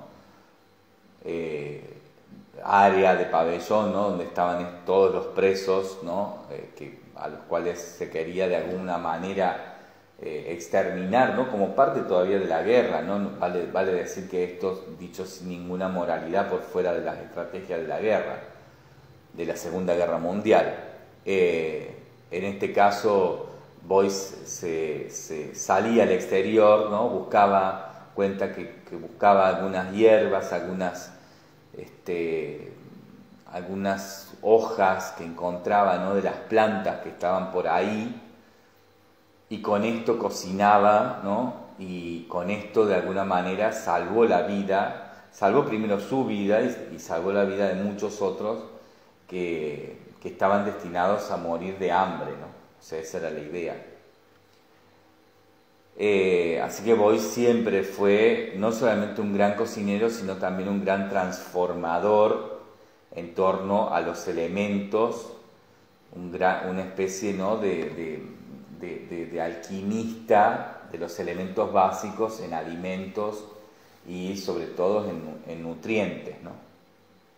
Por supuesto acá están hablando, está hablando el autor de algo mucho más relajado que eso, pero vale recordarlo. ¿no? Entonces continúo, retomo aquí el texto que dice, era bastante, Boyce, ¿no? Boyce era bastante entendido en setas y especias con las que preparaba platos exquisitos. En el patio interior, detrás del cuarto de estar de su casa, plantó y cuidó Boyce numerosas plantas mediterráneas eh, pequeños granados, o sea, pequeñas plantas de granada, pequeños limoneros, mirto, laurel. Consideraba este jardincito como un homenaje a Italia, especialmente a la querida ciudad de Nápoles. ¿no? Hemos visto en el capítulo anterior específicamente y en otros capítulos la gran relación afectiva, amorosa, pasional que tenía con Nápoles, con Italia en general, pero con Nápoles en, en particular. Incluso, continúa diciendo el texto, para Eva Boyce era el Boyce, en toda regla, una persona equilibrada y tranquila, de continuada alegría, terrible algunas veces, dice Babois. Nunca estuvo sujeto su humor a altibajos, nunca refunfuñaba contra el tiempo atmosférico. Y dice Babois, cualquier tiempo que haga es bueno, decían. Hans van der Grinten se refirió a sí mismo, a su amigo, a la actitud positiva de Boyce ante la vida que era constante. Era un cómico de situación, se divertía a costa de otras personas, aunque sin malicia. También esto hemos visto que, no obstante, a veces se pasaba del límite y desde el otro lado del límite se burlaba de las personas, ¿no? Claramente. Continúa diciendo el texto, sabía recitar maravillosa, eh, maravillosamente, por ejemplo, ¿no? Sabía recitar voice maravillosamente, por ejemplo, eh, y cita aquí una ¿no? de las cosas que recitaba maravillosamente, que era Anna Blum, Anna Blume, poesía de Kant Schwitters, ¿no? por ejemplo, de Kurt Schwitters, perdón, el artista Kurt Schwitters. Gran artista también, ¿no? Del tiempo de las guerras, eh, que bueno, fue también una referencia eh, clara de cierto tipo de dadaísmo, de cierto tipo de, autoexpresión en artes, ¿no? en la libertad eh, total de, de, lo institucional y que bueno, tuvo como gran ejemplo de eso, ¿no? la intervención de su propia casa a la que fue transformando una gran obra de arte, ¿no? con su vida adentro, todo siendo un obrar enorme, ¿no? muy, muy, este, muy innovador para el momento y también muy, muy eh, un, precedente muy claro para Boyce. ¿no? Está bueno en este caso que se lo nombre, que acá por fin se nombra algo más ¿no? de lo que pasaba en ese contexto. Eh, de, esa, de, esa, zona ¿no? que, donde estaba Düsseldorf y demás, ¿no? que era una zona que no era solamente con Alemania, sino era con otros países, otras ciudades donde pasaban estas cosas, donde existía un, un ¿no? o, otras cosas ¿no? que no se han nombrado claramente, como la Bauhaus o, otras cosas ¿no? que existieron incluso habiendo sido, no obstante, Boyce muy joven todavía, pero que estaban ahí, ¿no? Eh, bueno, esta casa paradigmática de Sweeters, destruida además por la guerra, ¿no? O sea, destruida en la Segunda Guerra Mundial, eh, destruida por completo, digamos, ¿no? Está, y muerto Sweeters también, ¿no? Eh, era un placer, dice Van der Grinten, oírle recitar esto, ¿no? Por ejemplo, Anna Blum, esta poesía de Kurt Schwitters. Siendo adolescente, continúa diciendo el texto, Boyce había aprendido a tocar el violonchelo y el piano. Sabía muchas canciones populares y las cantaba a pleno pulmón, sobre todo en viajes en automóvil algo largos. Cuando hacía viajes largos, le gustaba cantar estas canciones populares ¿no? a, gritos, o sea, cantaba los gritos canciones populares del momento. Eh, lo hemos visto también, ¿no? Hay, algunos videos de esto que son realmente muy divertidos porque, bueno, Boyce tenía un humor que era, cuando no era socarrón y, y de alguna manera agresivo, ¿no? En torno a la burla, era un humor realmente muy, muy amable, muy, muy educado, ¿no? Y muy divertido resultaba todo. O sea, era un, tipo que cuando estaba relajado y demás era muy divertido, ¿no? Más allá de que además era esto, un tipo triste que siempre, como dice Eva Boyce, estuvo muerto, ¿no? O sea, después de la guerra, después de los incidentes y específicamente la caída del avión en Crimea es que, bueno, Boyce está más allá ¿no? de la vida y la muerte. En todo caso, es, eso, ¿no?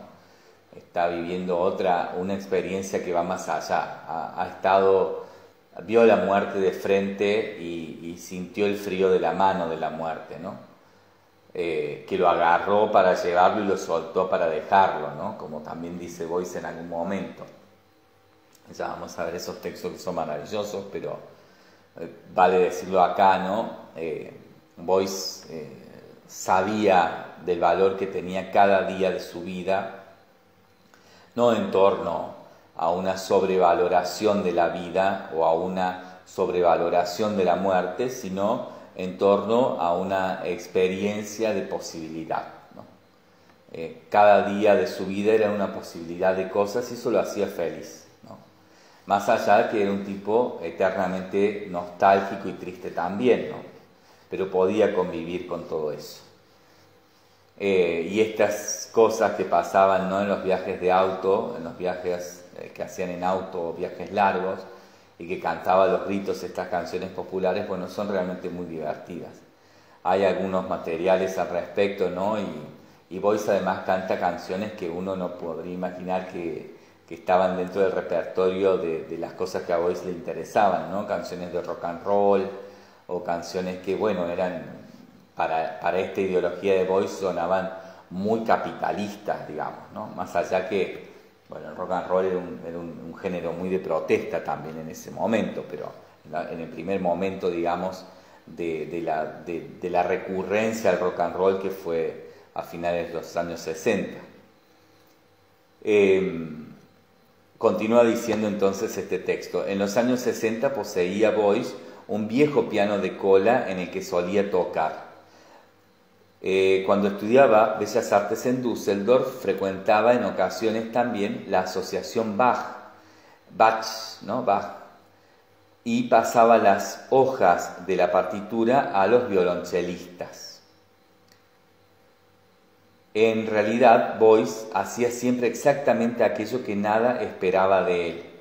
Le agregaban, le agradaban, perdón, las actitudes principescas hablaba incluso del orgullo del escultor y luego disfrutaba con su mujer bebiendo en talleres, eh, en sus lugares, digamos, de trabajo, ¿no?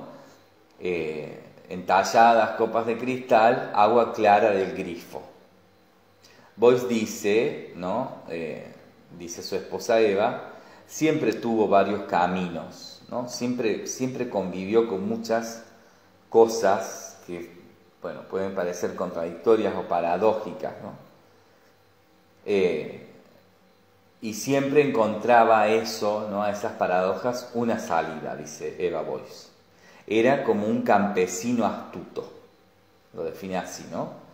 Así la traducción, ¿no? Era, era este campesino astuto, este, este campesino que sabía encontrarle la vuelta a las cosas, ¿no? Y creo que por eso también amaba tanto Italia, porque justamente ¿no? Eh, los italianos tenían esa capacidad que en cierta forma el conservadurismo alemán no tenía, ¿no? Porque, bueno, Alemania venía antes de la guerra en una situación bastante mejor que lo que había atravesado Italia y Italia había tenido que arreglárselas, ¿no? O sea, habían aprendido a arreglárselas con lo que tenían para lo que sea y entonces en ese sentido, bueno, eh, se sentía muy atraído a, esa cultura, ¿no? Como él dice, cuando se llegaba a Italia se sentía que llegaba a su casa, ¿no? Eh, específicamente por esto, ¿no? Porque en Italia la cosa era un poco así, como de, de cierta astucia, de arreglársela con lo que había para hacer lo que se necesitaba, ¿no? Y en Alemania estaba más estructurado eso, todavía no no fluía eso, ¿no? Este, se frustraba más, eh, algunos proyectos, algunos planes se frustraban cuando no estaba lo adecuado para llevarlos a cabo. Si no estaba lo adecuado, bueno, se descartaban. En, Italia, sin lo adecuado, se hacían lo mismo, ¿no? Se hacían igualmente, con lo que sea. Y Boyce un poco lo que hacía y cómo vivía era de este modo, ¿no? con lo adecuado funcionando para lo que necesitaba y cuando no estaba lo adecuado para lo que necesitaba, usaba lo que estuviera a mano y lo hacía funcionar igual, digamos.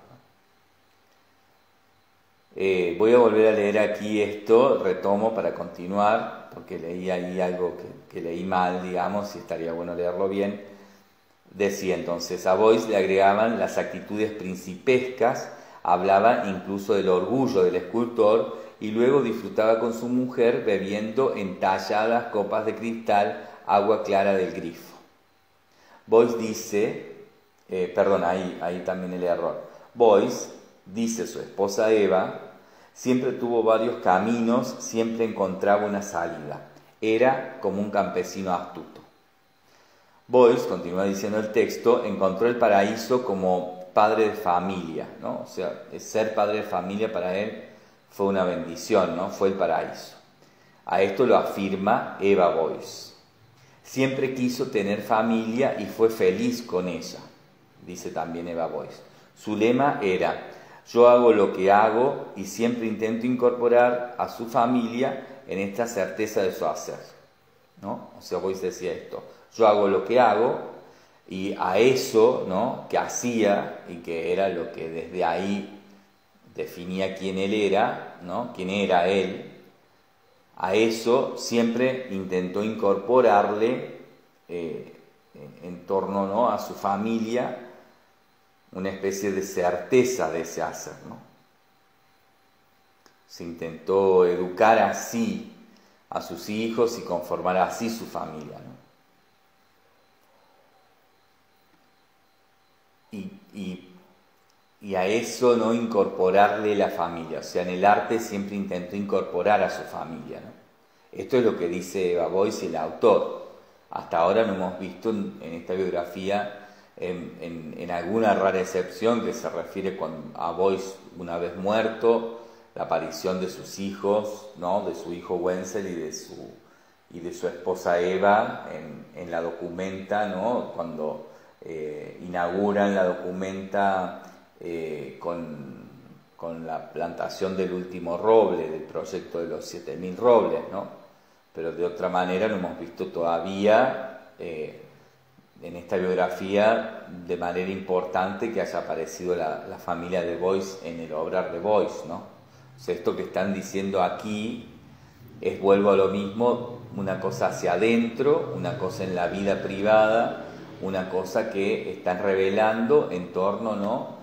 a esa idea de, de, lo que, bueno, suponemos a partir de la voz ¿no? de Eva Boyce y del autor de esta biografía, le pasaba a Boyce ¿no? en torno a, su vida privada, digamos. Vida privada que aquí ya se está usando para determinar una posibilidad de obrar, ¿no? O sea, volvemos a lo mismo, esta idea de lo autorreferencial como eje de la producción arte, que bueno, va a ser uno de los principales modos de generar sentido disciplinal en el arte eh, contemporáneo siguiente, ¿no? El arte contemporáneo después de esta posmodernidad regida por Warhol y Boyce, según lo que venimos viendo, dice este autor.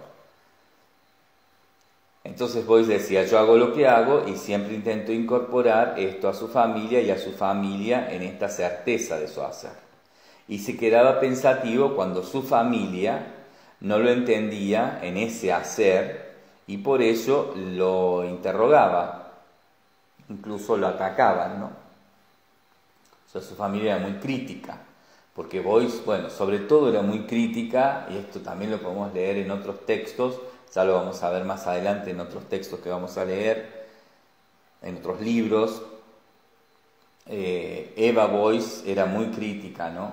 Ella, veía el riesgo, veía el riesgo y, bueno, una, época también muy machista, ¿no? Con una, un, un, patriarcado, digamos, que era esa familia, y bueno, ella veía el riesgo, veía riesgos grandes que Boyce corría y que no solamente determinaban riesgos para su vida propia, para la vida de Boyce, sino que determinaban riesgos muy fuertes, muy grandes para la familia entera, digamos. Y Eva Boyce era muy crítica y era muy dura con las críticas, ¿no? Era muy dura. Sus hijos también, pero sus hijos de, una manera menos, eh, yo diría que contundente, ¿no? Más allá de lo que acá se dice. Eh, Continúa entonces diciendo, eh, continúa diciendo el autor de esta biografía. Retomo ahí entonces. Yo hago lo que hago y siempre intento incorporar a su familia en esa certeza y esa certeza a su familia respecto a su hacer.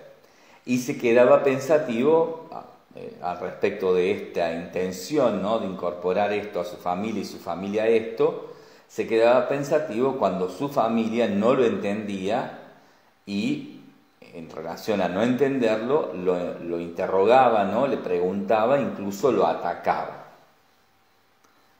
Continúa diciendo el texto, lo que son vacaciones nunca las tuvo, pero a menudo llevaba consigo a su familia de viaje, incluso al extranjero.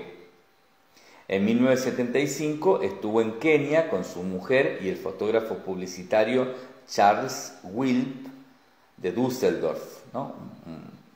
conocido, sumamente conocido, ¿no? reconocido fotógrafo publicitario Charles Wilp de Düsseldorf.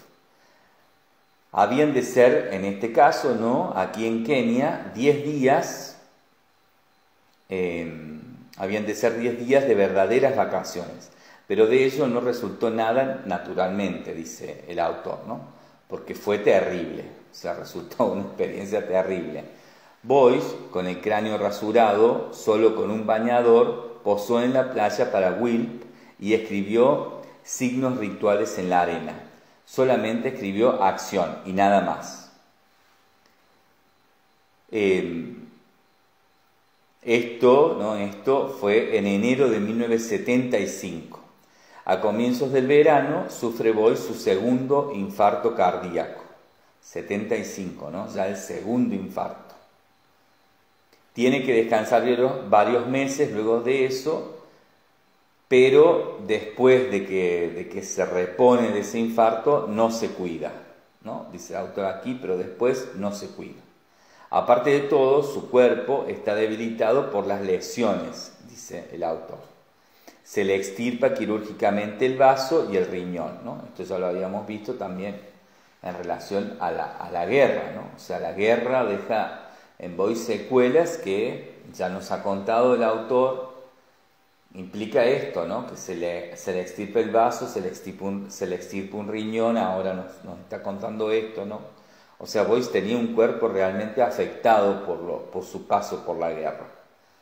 Y era de ahí la afección, ¿no? Algunos autores han intentado buscar otras razones y es, es muy comprensible, ¿no? Las fuentes y, queda muy claro que, que, que hay posibilidades, pero es absolutamente determinante los datos, ¿no? son absolutamente determinantes los datos para hacernos una idea de que en verdad lo que a Boyce le pasó en el cuerpo, las afecciones que tenía en el cuerpo, las, las enfermedades que, que atravesó, los infartos y demás, todo de alguna manera, diría yo que muy directa, tuvo que ver con su participación en la guerra. ¿no? Su participación activa como cuerpo y su participación tal vez eh, subliminal pasiva como mente y espíritu, ¿no? O sea, su mente y su espíritu fueron muy afectados para mal en la guerra, ¿no?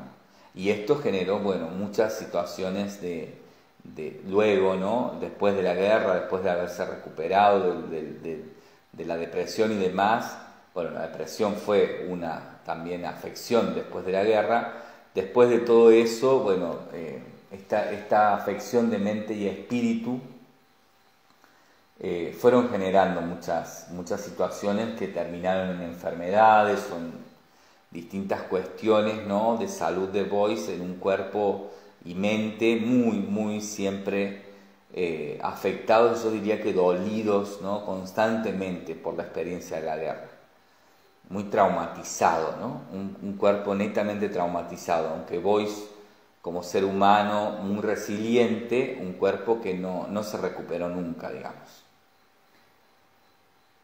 Eh, continúa diciendo entonces el, texto aquí ¿no? Eh, de, esta biografía.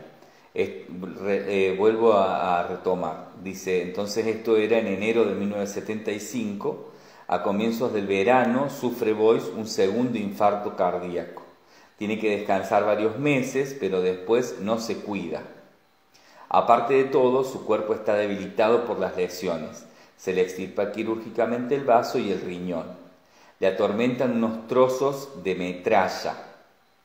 Tiene dolores de cabeza, molestias en las piernas. se castiga a sí mismo con estar mucho tiempo de pie en las acciones, acciones entre comillas. Sus ojos miran a veces como paralizados después de su caída. Eh, creyó durante semanas que se había quedado ciego, ¿no? De esa caída en, Düsseldorf. Eh, en, perdón, en Kleb, cuando deciden mudarse a Düsseldorf, ¿no? La caída arreglando, limpiando ese conducto de, la estufa. Eh, aquí, bueno, vale, también, ¿no? Subrayar algunas, algunas cosas, ¿no? Esto de que lo atormentan unos trozos de metralla, ¿no? Bueno, claro, Boyce tiene en su cuerpo no solamente las, las lesiones, las cicatrices y lo que eso implica, ¿no? Psíquicamente, y, el trauma y demás, sino que eh, tiene literalmente pedazos ¿no? de, de, los ametrallamientos, permítanme esa expresión, no está bien dicho, pero no, de, de los ametrallamientos que había sufrido, o sea, de, los acribillamientos, ¿no? de los que había sido parte como, como, como la persona que recibió los tiros, las balas, ¿no? Eh, y es, esas balas que habían ingresado en su cuerpo todavía estaban ahí, digamos, no parte de eso todavía estaba ahí. Continúa diciendo el, bueno, perdón, vale decir también ¿no? que otros biógrafos lo ven muy exagerado a Boyce, ¿no? Muchas veces incluso se burlan, o sea, hay, cierta burla, ¿no? Que creo se permiten también con un respeto en torno a la socarronería y a cierta calidad de burla que también Boyce hacía de sí mismo, ¿no? No obstante, creo, que yo que, creo yo que muchas veces se lo, así como muchas veces se lo tilda de nazi por haber participado de las fuerzas eh, armadas, ¿no? Eh, hitlerianas, sin reconocer, ¿no? la palabra de Boyce en ese sentido, que si bien fue poco, o sea, dijo poco, pero dijo suficiente, ¿no? Fue clarísimo. Y sin reconocer toda la documentación que existe al respecto, en torno a que Boyce no quería ir, digamos, fue obligado porque esto era un servicio militar obligatorio y Boyce intentó escaparse, ¿no? De hecho, en el, en el evento de Crimea se queda con la tribu de los tártaros tratando de escapar, tratando de no volver a la guerra. Si no fuera que, si no, si no hubiera sido que, lo encuentran las mismas fuerzas alemanas ¿no? que están por esa zona y lo encuentran entre esta tribu y lo rescatan entre comillas, pero yo creo que Boyce no hubiera querido ser rescatado, Boyce quisiera haberse quedado ahí y no volver a la guerra. ¿no? a la que además después de ser rescatado y de ser medianamente curado en un hospital, es casi castigado por ser siempre un rebelde y, un, eh, y por estarse sublevando siempre, ¿no? Y no respetar los códigos de la guerra y los códigos militares, bueno, es castigado volver a la guerra, volver al frente de lucha, cuando aún todavía no estaba 100% recuperado de ese accidente de, de aviación en Crimea. ¿no? Eh, cuando a Boyce se lo tilda ¿no? de nazi por haber participado de las fuerzas armadas hitlerianas y haber sido parte eh, de la lucha, ¿no? de la guerra que se dio en la Segunda Guerra Mundial, o como la Segunda Guerra Mundial, eh, siempre se deja muy de lado esto, ¿no? Y los documentos, insisto, las, las, las herramientas que tenemos documentales, ¿no? para ir comprendiendo que Boyce estuvo obligado, que cuando se quiso ir entendió que los que se iban eh, por lo general desaparecían o el propio eh, ejército, las propias fuerzas armadas nazis los mataban, ¿no?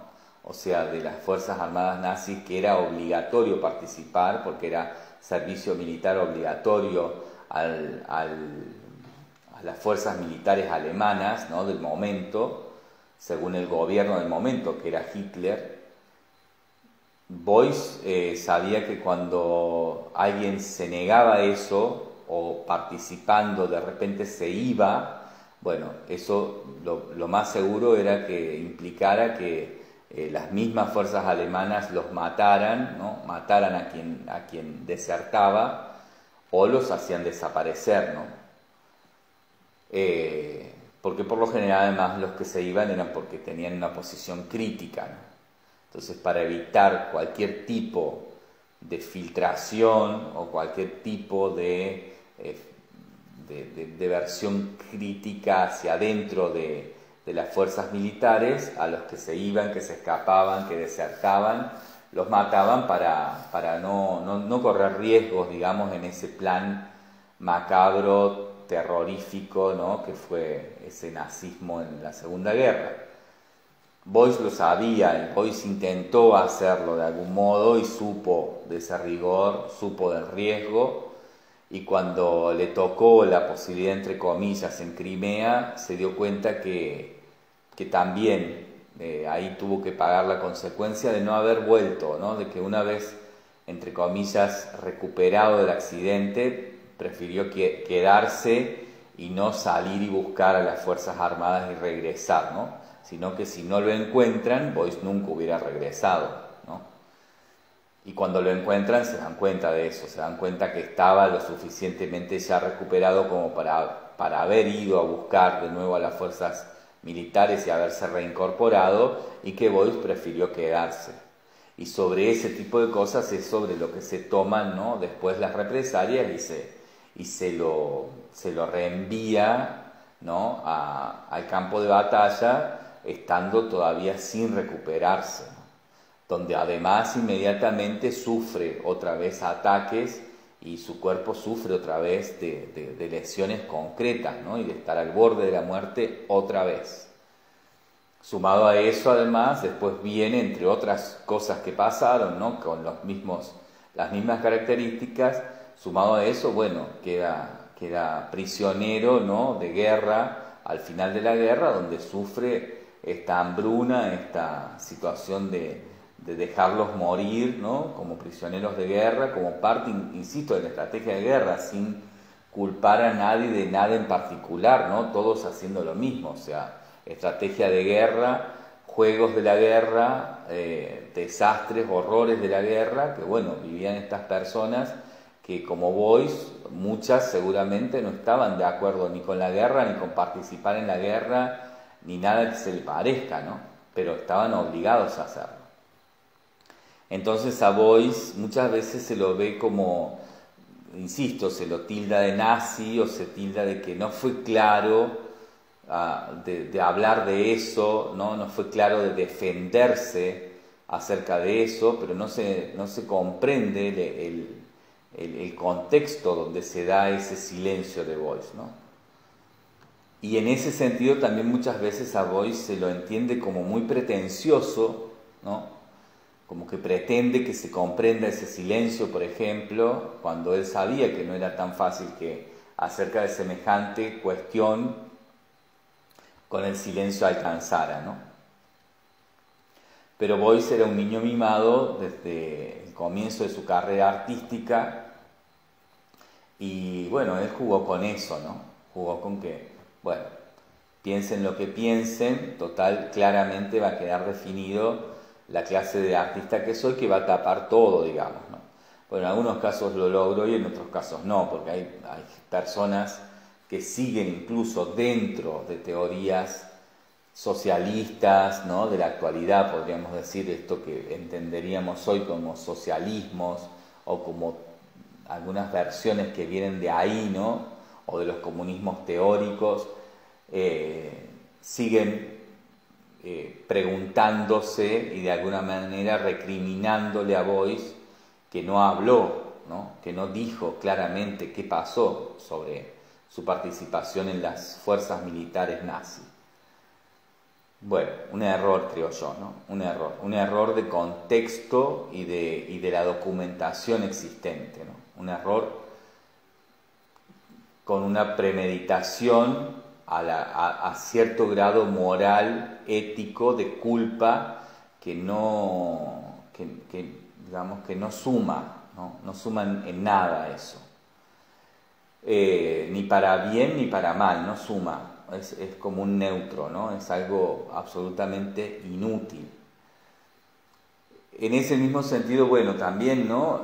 estas, estas eh, estas eh, especies de críticas que se le hacen, ¿no? Como un, un voice muy pretencioso y muy caprichoso y muy exagerado, se, se dan también a este tipo de cosas, como bueno, una caída que sufre un accidente, digamos, bueno, no, no, es, no, no quedó ciego, ¿no? Como, como esa, esa especie de, bueno, no es para tanto, tampoco quedó ciego, exageró con sentir que estaba ciego durante semanas después de la caída y de que se golpeó la espalda con, la estufa, digamos, en su casa. Bueno, eso también es, es ver fuera del contexto y de una manera muy sesgada, y yo diría que muy pobre, las posibilidades de, de Boyce y de su discurso en todo sentido.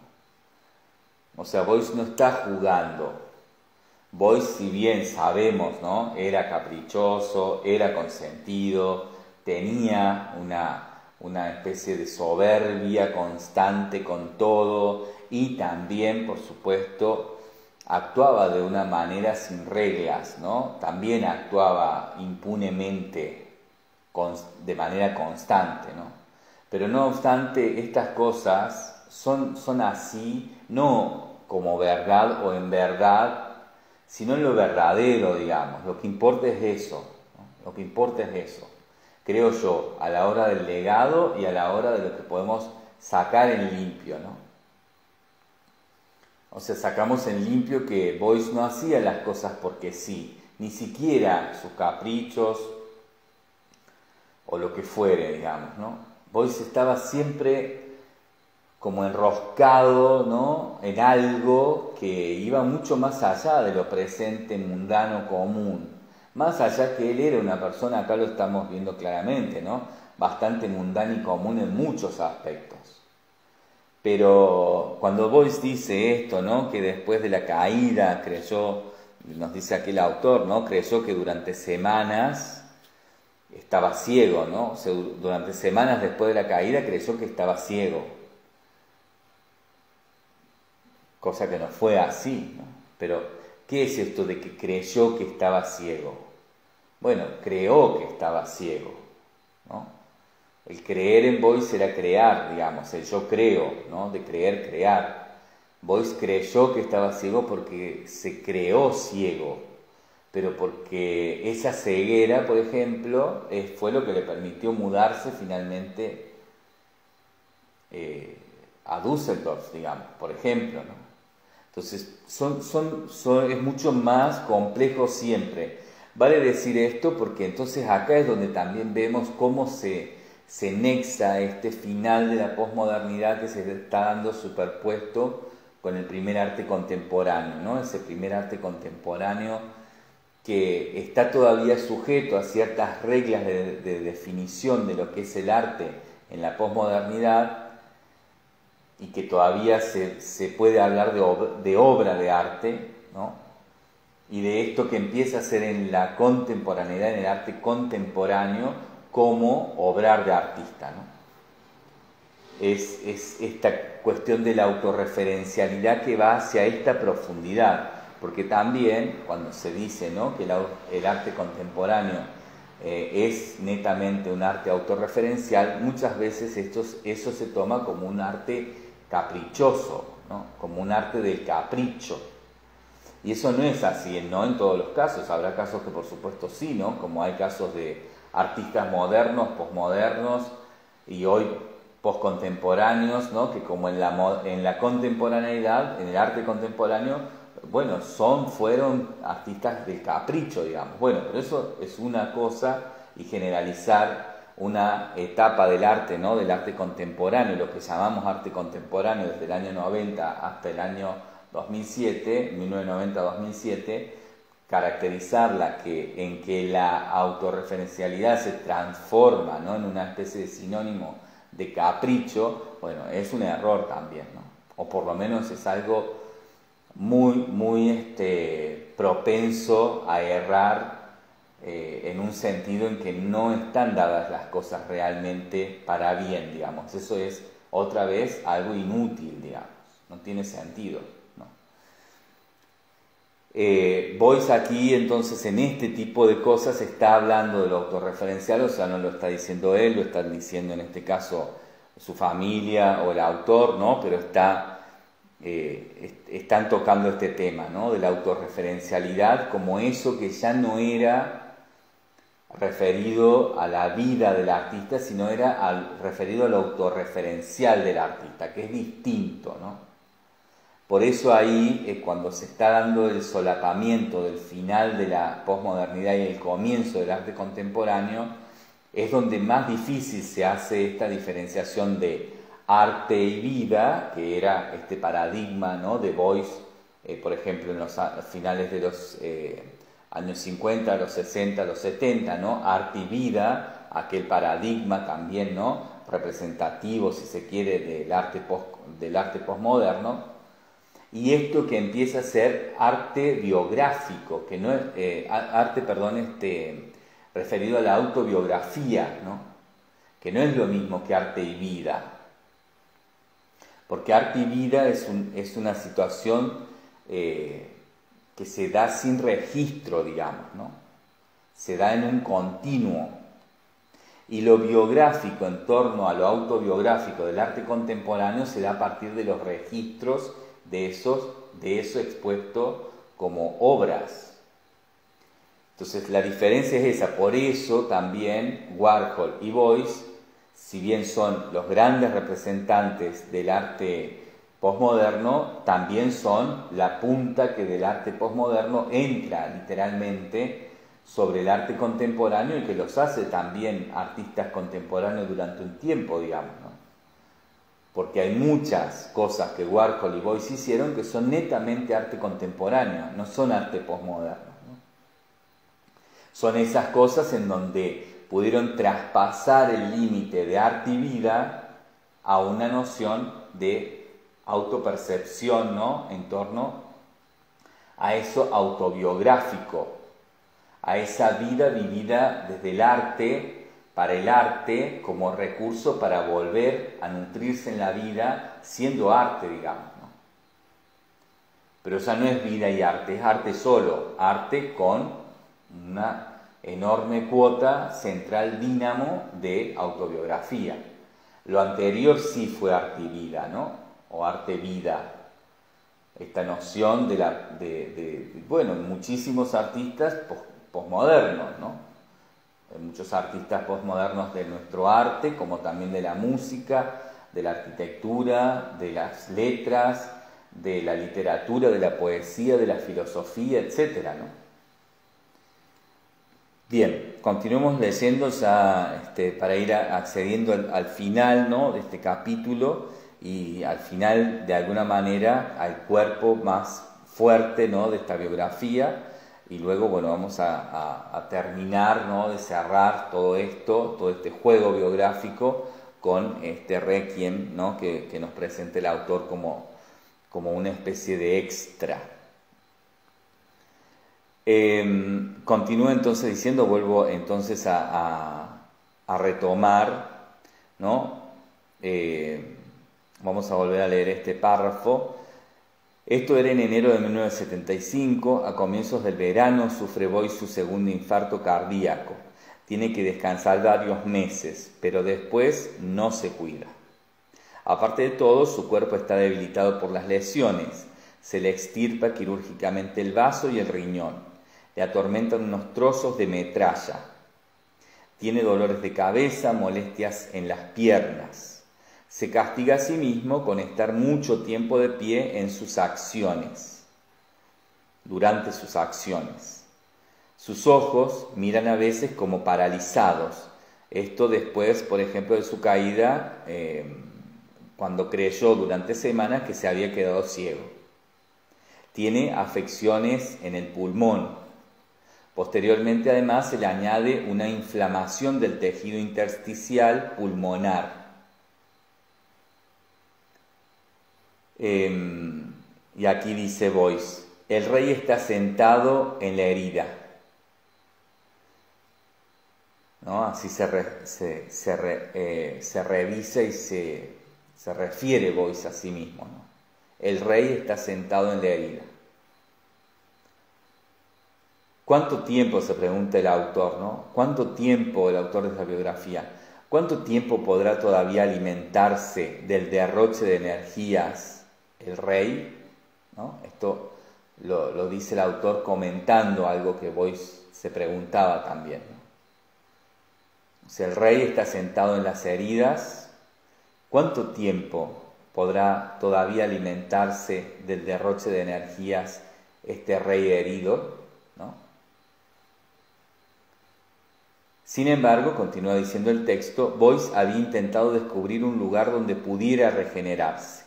Lo encontró extrañamente no en su amada Italia, sino en las proximidades de la ciudad holandesa de Limburg, en un terreno de 24.000 metros cuadrados que Boyce y su mujer compraron en 1975. 24.000 metros cuadrados. Allí había solo una casa en bastante, en bastante malas condiciones y en el transcurso de los años hubo que hacerle muchas reparaciones. Para Boyce esto era en realidad una isla donde sin que nadie lo molestara podía trabajar en la naturaleza y con la naturaleza.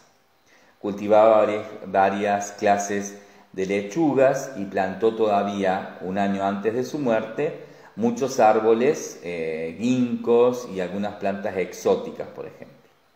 Quería tener allí un jardín botánico, este proyecto este, que siempre estaba en Boyce desde niño, ¿no? esa, esa, esa afición, esa, esa especie de, de, de, gusto, de placer ¿no? por los jardines botánicos, por los zoológicos, por toda esta esta posibilidad ¿no? que bueno, Boyce fue abriendo en torno a los respeto, al respeto a la tierra, a los animales, a otros formatos, pero que desde niño eh, le interesaba en ese sentido, ¿no? el, zoológico, el circo, el jardín botánico, y que bueno, fue abriendo estas otras versiones más respetuosas de los derechos de los animales, de los derechos de la tierra, y que bueno, era su plan, ¿no? Yo diría que su plan de vejez, tener esta casa, este, esta especie de inmensa chacra donde, bueno, iba a generar esto, ¿no? su propio hábitat y, lugar en el mundo natural para poder vivir eh, en, tranquilidad con ese intercambio con la naturaleza. Esto se pudo dar un corto tiempo y lamentablemente, bueno, Boyce falleció antes de poder darle a eso mayor forma. Vamos a leer eh, otros textos ¿no? aquí dentro de esta colección de libros que es la Biblioteca Fabio Di Camosi, eh, custodiada, guardada, eh, protegida ¿no? por la Fundación La Bomba de Miel. Vamos a leer otros libros, entre ellos uno que se llama Voice Voice, o sea, la voz de Voice, en el que revisan, ¿no?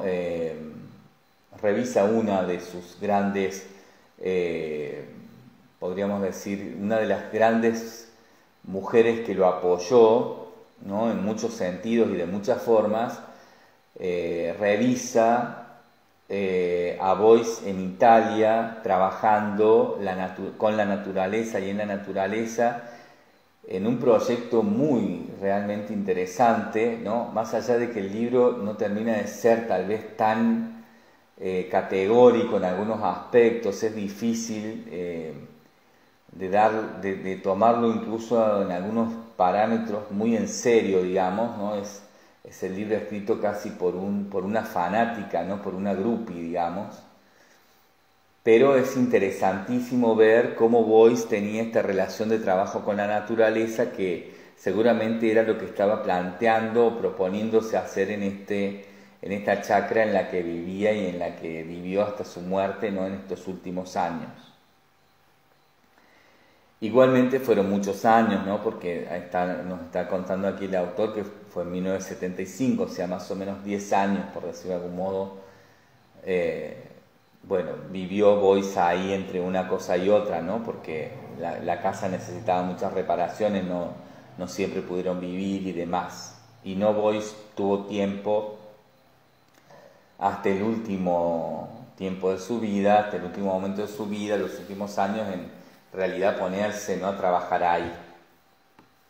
Boyce viajaba mucho, estaba constantemente en movimiento y no, no podía dejar eso hasta, hasta un tiempo antes de su muerte, que pudo empezar a relajarse, bajar un poco ese nivel de exigencia y bueno, se venía ese proyecto en esa chacra, ¿no? que, que se, se, lo relaciona mucho con este proyecto que hizo ¿no? con la naturaleza en Italia, porque es un proyecto que seguramente iba a ir por esa línea de trabajo, iba a seguir desarrollando esa línea de trabajo de una manera mucho más personal, aunque en Italia fue muy personal, ya lo vamos a ver. Eh, y que bueno, en ese libro llamado Voice Voice, o sea, la voz de Voice, eh, bueno, están también sus, seguidores, quienes fueron sus discípulos, quienes estuvieron con él trabajando ahí, ¿no? Que también, eh, bueno, aportan ciertas ideas, cuentan un poco de cómo es esto de ser un seguidor de Voice, de haber trabajado con él, de haber estudiado con él, de haberse formado con él y de alguna manera haber empezado a experimentar obrares en artes con él, ¿no? Bueno, insisto, es un libro que tiene cierta cosa, ¿no? Muy de grupi que, o de fanáticos, cuesta un poco el objetivo que uno trata de buscar leer, ¿no? Pero es, es algo que nos va, nos va, a servir en algún punto de, de, interés. No sé si leeremos todo el libro, es realmente un libro muy extenso, es muy probable que leamos algunos capítulos que nos sirvan, ¿no? Para eso es un libro que además está en inglés. Vamos a ver a ver cómo, cómo hacemos estas lecturas. Em, bien, vamos entonces a continuar. Eh, ya para ir cerrando este capítulo y por supuesto terminando ya con la lectura de esta biografía, nos queda el, final, el cierre, digamos, extra, el cierre extra, pero ya aquí damos por, por cerrado, creo yo, el cuerpo del texto biográfico en sí. Eva Boyce dice lo siguiente, un día Boyce cae del tejado eh, de la casa de campo, eh, no, perdón, vuelvo a leer, perdón, perdón, perdón, estoy leyendo mal. Entonces, continúa diciendo el autor, continúa diciendo el autor. Eva Boyce dice lo siguiente. Un día cae del tejado de la casa de campo una cría de gorrión todavía implume, o sea, apenas recién nacido. Boyce da instrucciones a Eva sobre lo que tiene que hacer para que ese pajarito sobreviva. Así, ella lo cuida lo meten en una jaula y el, gorrión se salva, crece y entonces llega el momento de darle la libertad. ¿Qué ocurre? El gorrión vuela hacia Boyce, que que está trabajando en el campo, y se le posa sobre la rodilla. Esto se repite durante tres días. Hasta entonces no desaparece el gorrión. O sea, una vez curado, liberado de su encierro, dado la libertad, el gorrión por tres días está con Boyce, ¿no? no se aleja de Boyce, se le posa ¿no? en su rodilla, en su hombro, etc. Ciertamente, dice, eh, continúa diciendo el texto, no hay que sobrevalorar tales hechos, que con demasiada facilidad contribuyen a la formación de leyendas acerca de Boyce. Pero Boyce tuvo realmente una estrecha relación en este sentido y así, ¿no? Con, la naturaleza y los animales. También de su atención con ellos, de su conocimiento ¿no? del comportamiento específico de los animales, desarrolló Boyce sus contraimágenes. Al final, todo recuerda ¿no? Eh, en este sentido, Boyce recuerda que ya, bueno, se había ido siempre cuando los otros venían. Boyce decía esto, esto era muy frecuente también, ¿no? Que cuando todos venían, él ya se había ido, digamos. O sea, cuando la gente, o, o, en general, ¿no? El mundo del arte, por ejemplo, lo dijo, y muchas veces se lo tildó de soberbio, y seguramente lo era. Eh, pero bueno, también se entiende desde dónde lo decía, ¿no? Esto de que, de que él había aprendido mucho, ¿no? Y que, entendía desde los animales y la naturaleza esta contraimagen que cuando, cuando los demás venían, él ya estaba yéndose, digamos, siempre. ¿no? Eh, continúa diciendo aquí el, el texto, eh, el texto de esta biografía. Estaba Boyce en camino, él, un ampliador, repartiendo empujes de energía, siempre ante sus ojos la plástica social como utópico objetivo. Eva Boyce, tranquila, concentrada, discreta, dice, todo fue muy etéreo en esta casa, todo era muy ligero, muy alado.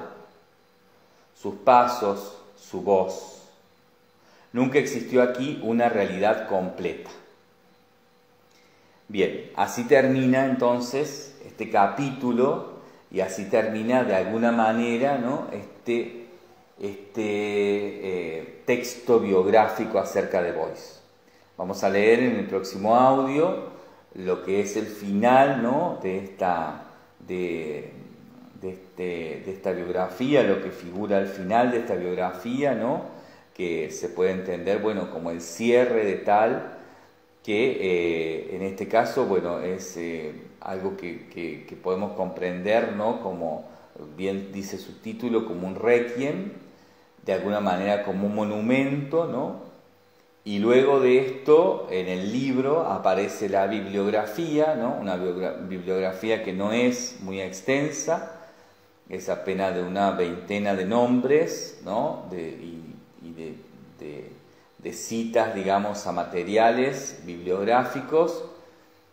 Eh, hay muchas citas a materiales bibliográficos de la autoría de Boyce eh, y algunos otros eh, que están muy cercanos a Boyce, ¿no? No hay cita materiales bibliográficos muy disruptivos, digamos, en apariencia, en esta bibliografía al menos.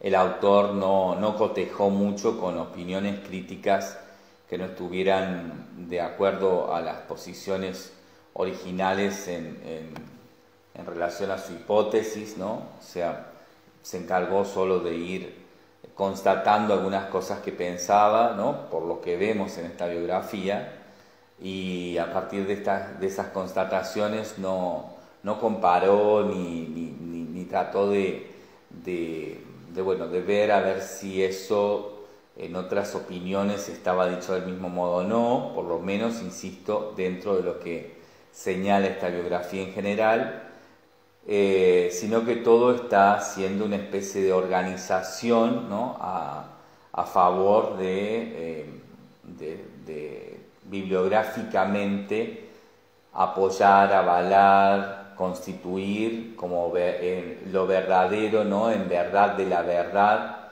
dicho aquí por Heiner Stackelhaus. Eh, luego de eso vamos a tener una solapa en este caso, ¿no? con con otros títulos de, lo que está publicado por esta editorial, donde bueno, tenemos realmente una, una gran variedad de cosas, pero entre eso ¿no? Eh, podemos ver que la gran, la gran mayoría de, lo publicado por esta editorial, que es importante de analizar, ¿no? Eh, es todo eh, textos en relación al arte, a la moda, al pensamiento, es una editorial esta, ¿no? Parsifal Ediciones, dedicada específicamente al arte, ¿no? A las letras en artes. Eh, luego también vamos a ver, ¿no? Vamos a analizar todo esto ya después de leer el, el Requiem. Vamos a hacer un análisis también del libro en general, digamos, como objeto. Vamos a ver cómo es el lomo, qué hay ahí también de información, vamos a ver cuál es el diseño de la tapa, vamos a analizar un poco eso, vamos a leer qué es lo que dice en la, digamos, en la parte de atrás del libro, vamos a decirlo así para que se entienda más claramente, y este, vamos a hacer también una comparativa con la versión de este libro que tenemos en inglés dentro de la colección eh, de, libros, ¿no? que es la Biblioteca Fabríca Mossi en la Fundación La Bomba de Miel, vamos a hacer alguna comparativa, ¿no? algunas comparativas de lo que de este texto aparece escrito en inglés diferente, entre comillas, a lo que aparece escrito en español. ¿no? Vamos a ver ahí cómo el juego con la traducción va estableciendo ¿no? esto de la letra viva, del discurso vivo, que en otros autores, como también lo he dicho en, en capítulos anteriores, eso puede significar realmente heridas de muerte. En Voice eso no solamente que no es algo negativo, sino que aporta mucho, ¿no? Cuanto más se mueva, ¿no? Es eh, a, condición, ¿no? De que se mueve en base a los intereses de quien lo está eh, utilizando, eh, mejor funciona, ¿no? Voice como mejor funciona es, es como, como dato y como un dato abierto, ¿no? Como un Creative Commons, digamos, ¿no? Una posibilidad de creación común y de constante recreación común, citando siempre, ¿no? A Voice como la fuente, a Voice como el origen, a Voice como eso que genera, ¿no? el dínamo eh, de arranque, digamos. Bien, vamos a dejar entonces hasta aquí y vamos a continuar ya en el próximo audio con eh, la última parte ya de esta biografía, que es el Requiem.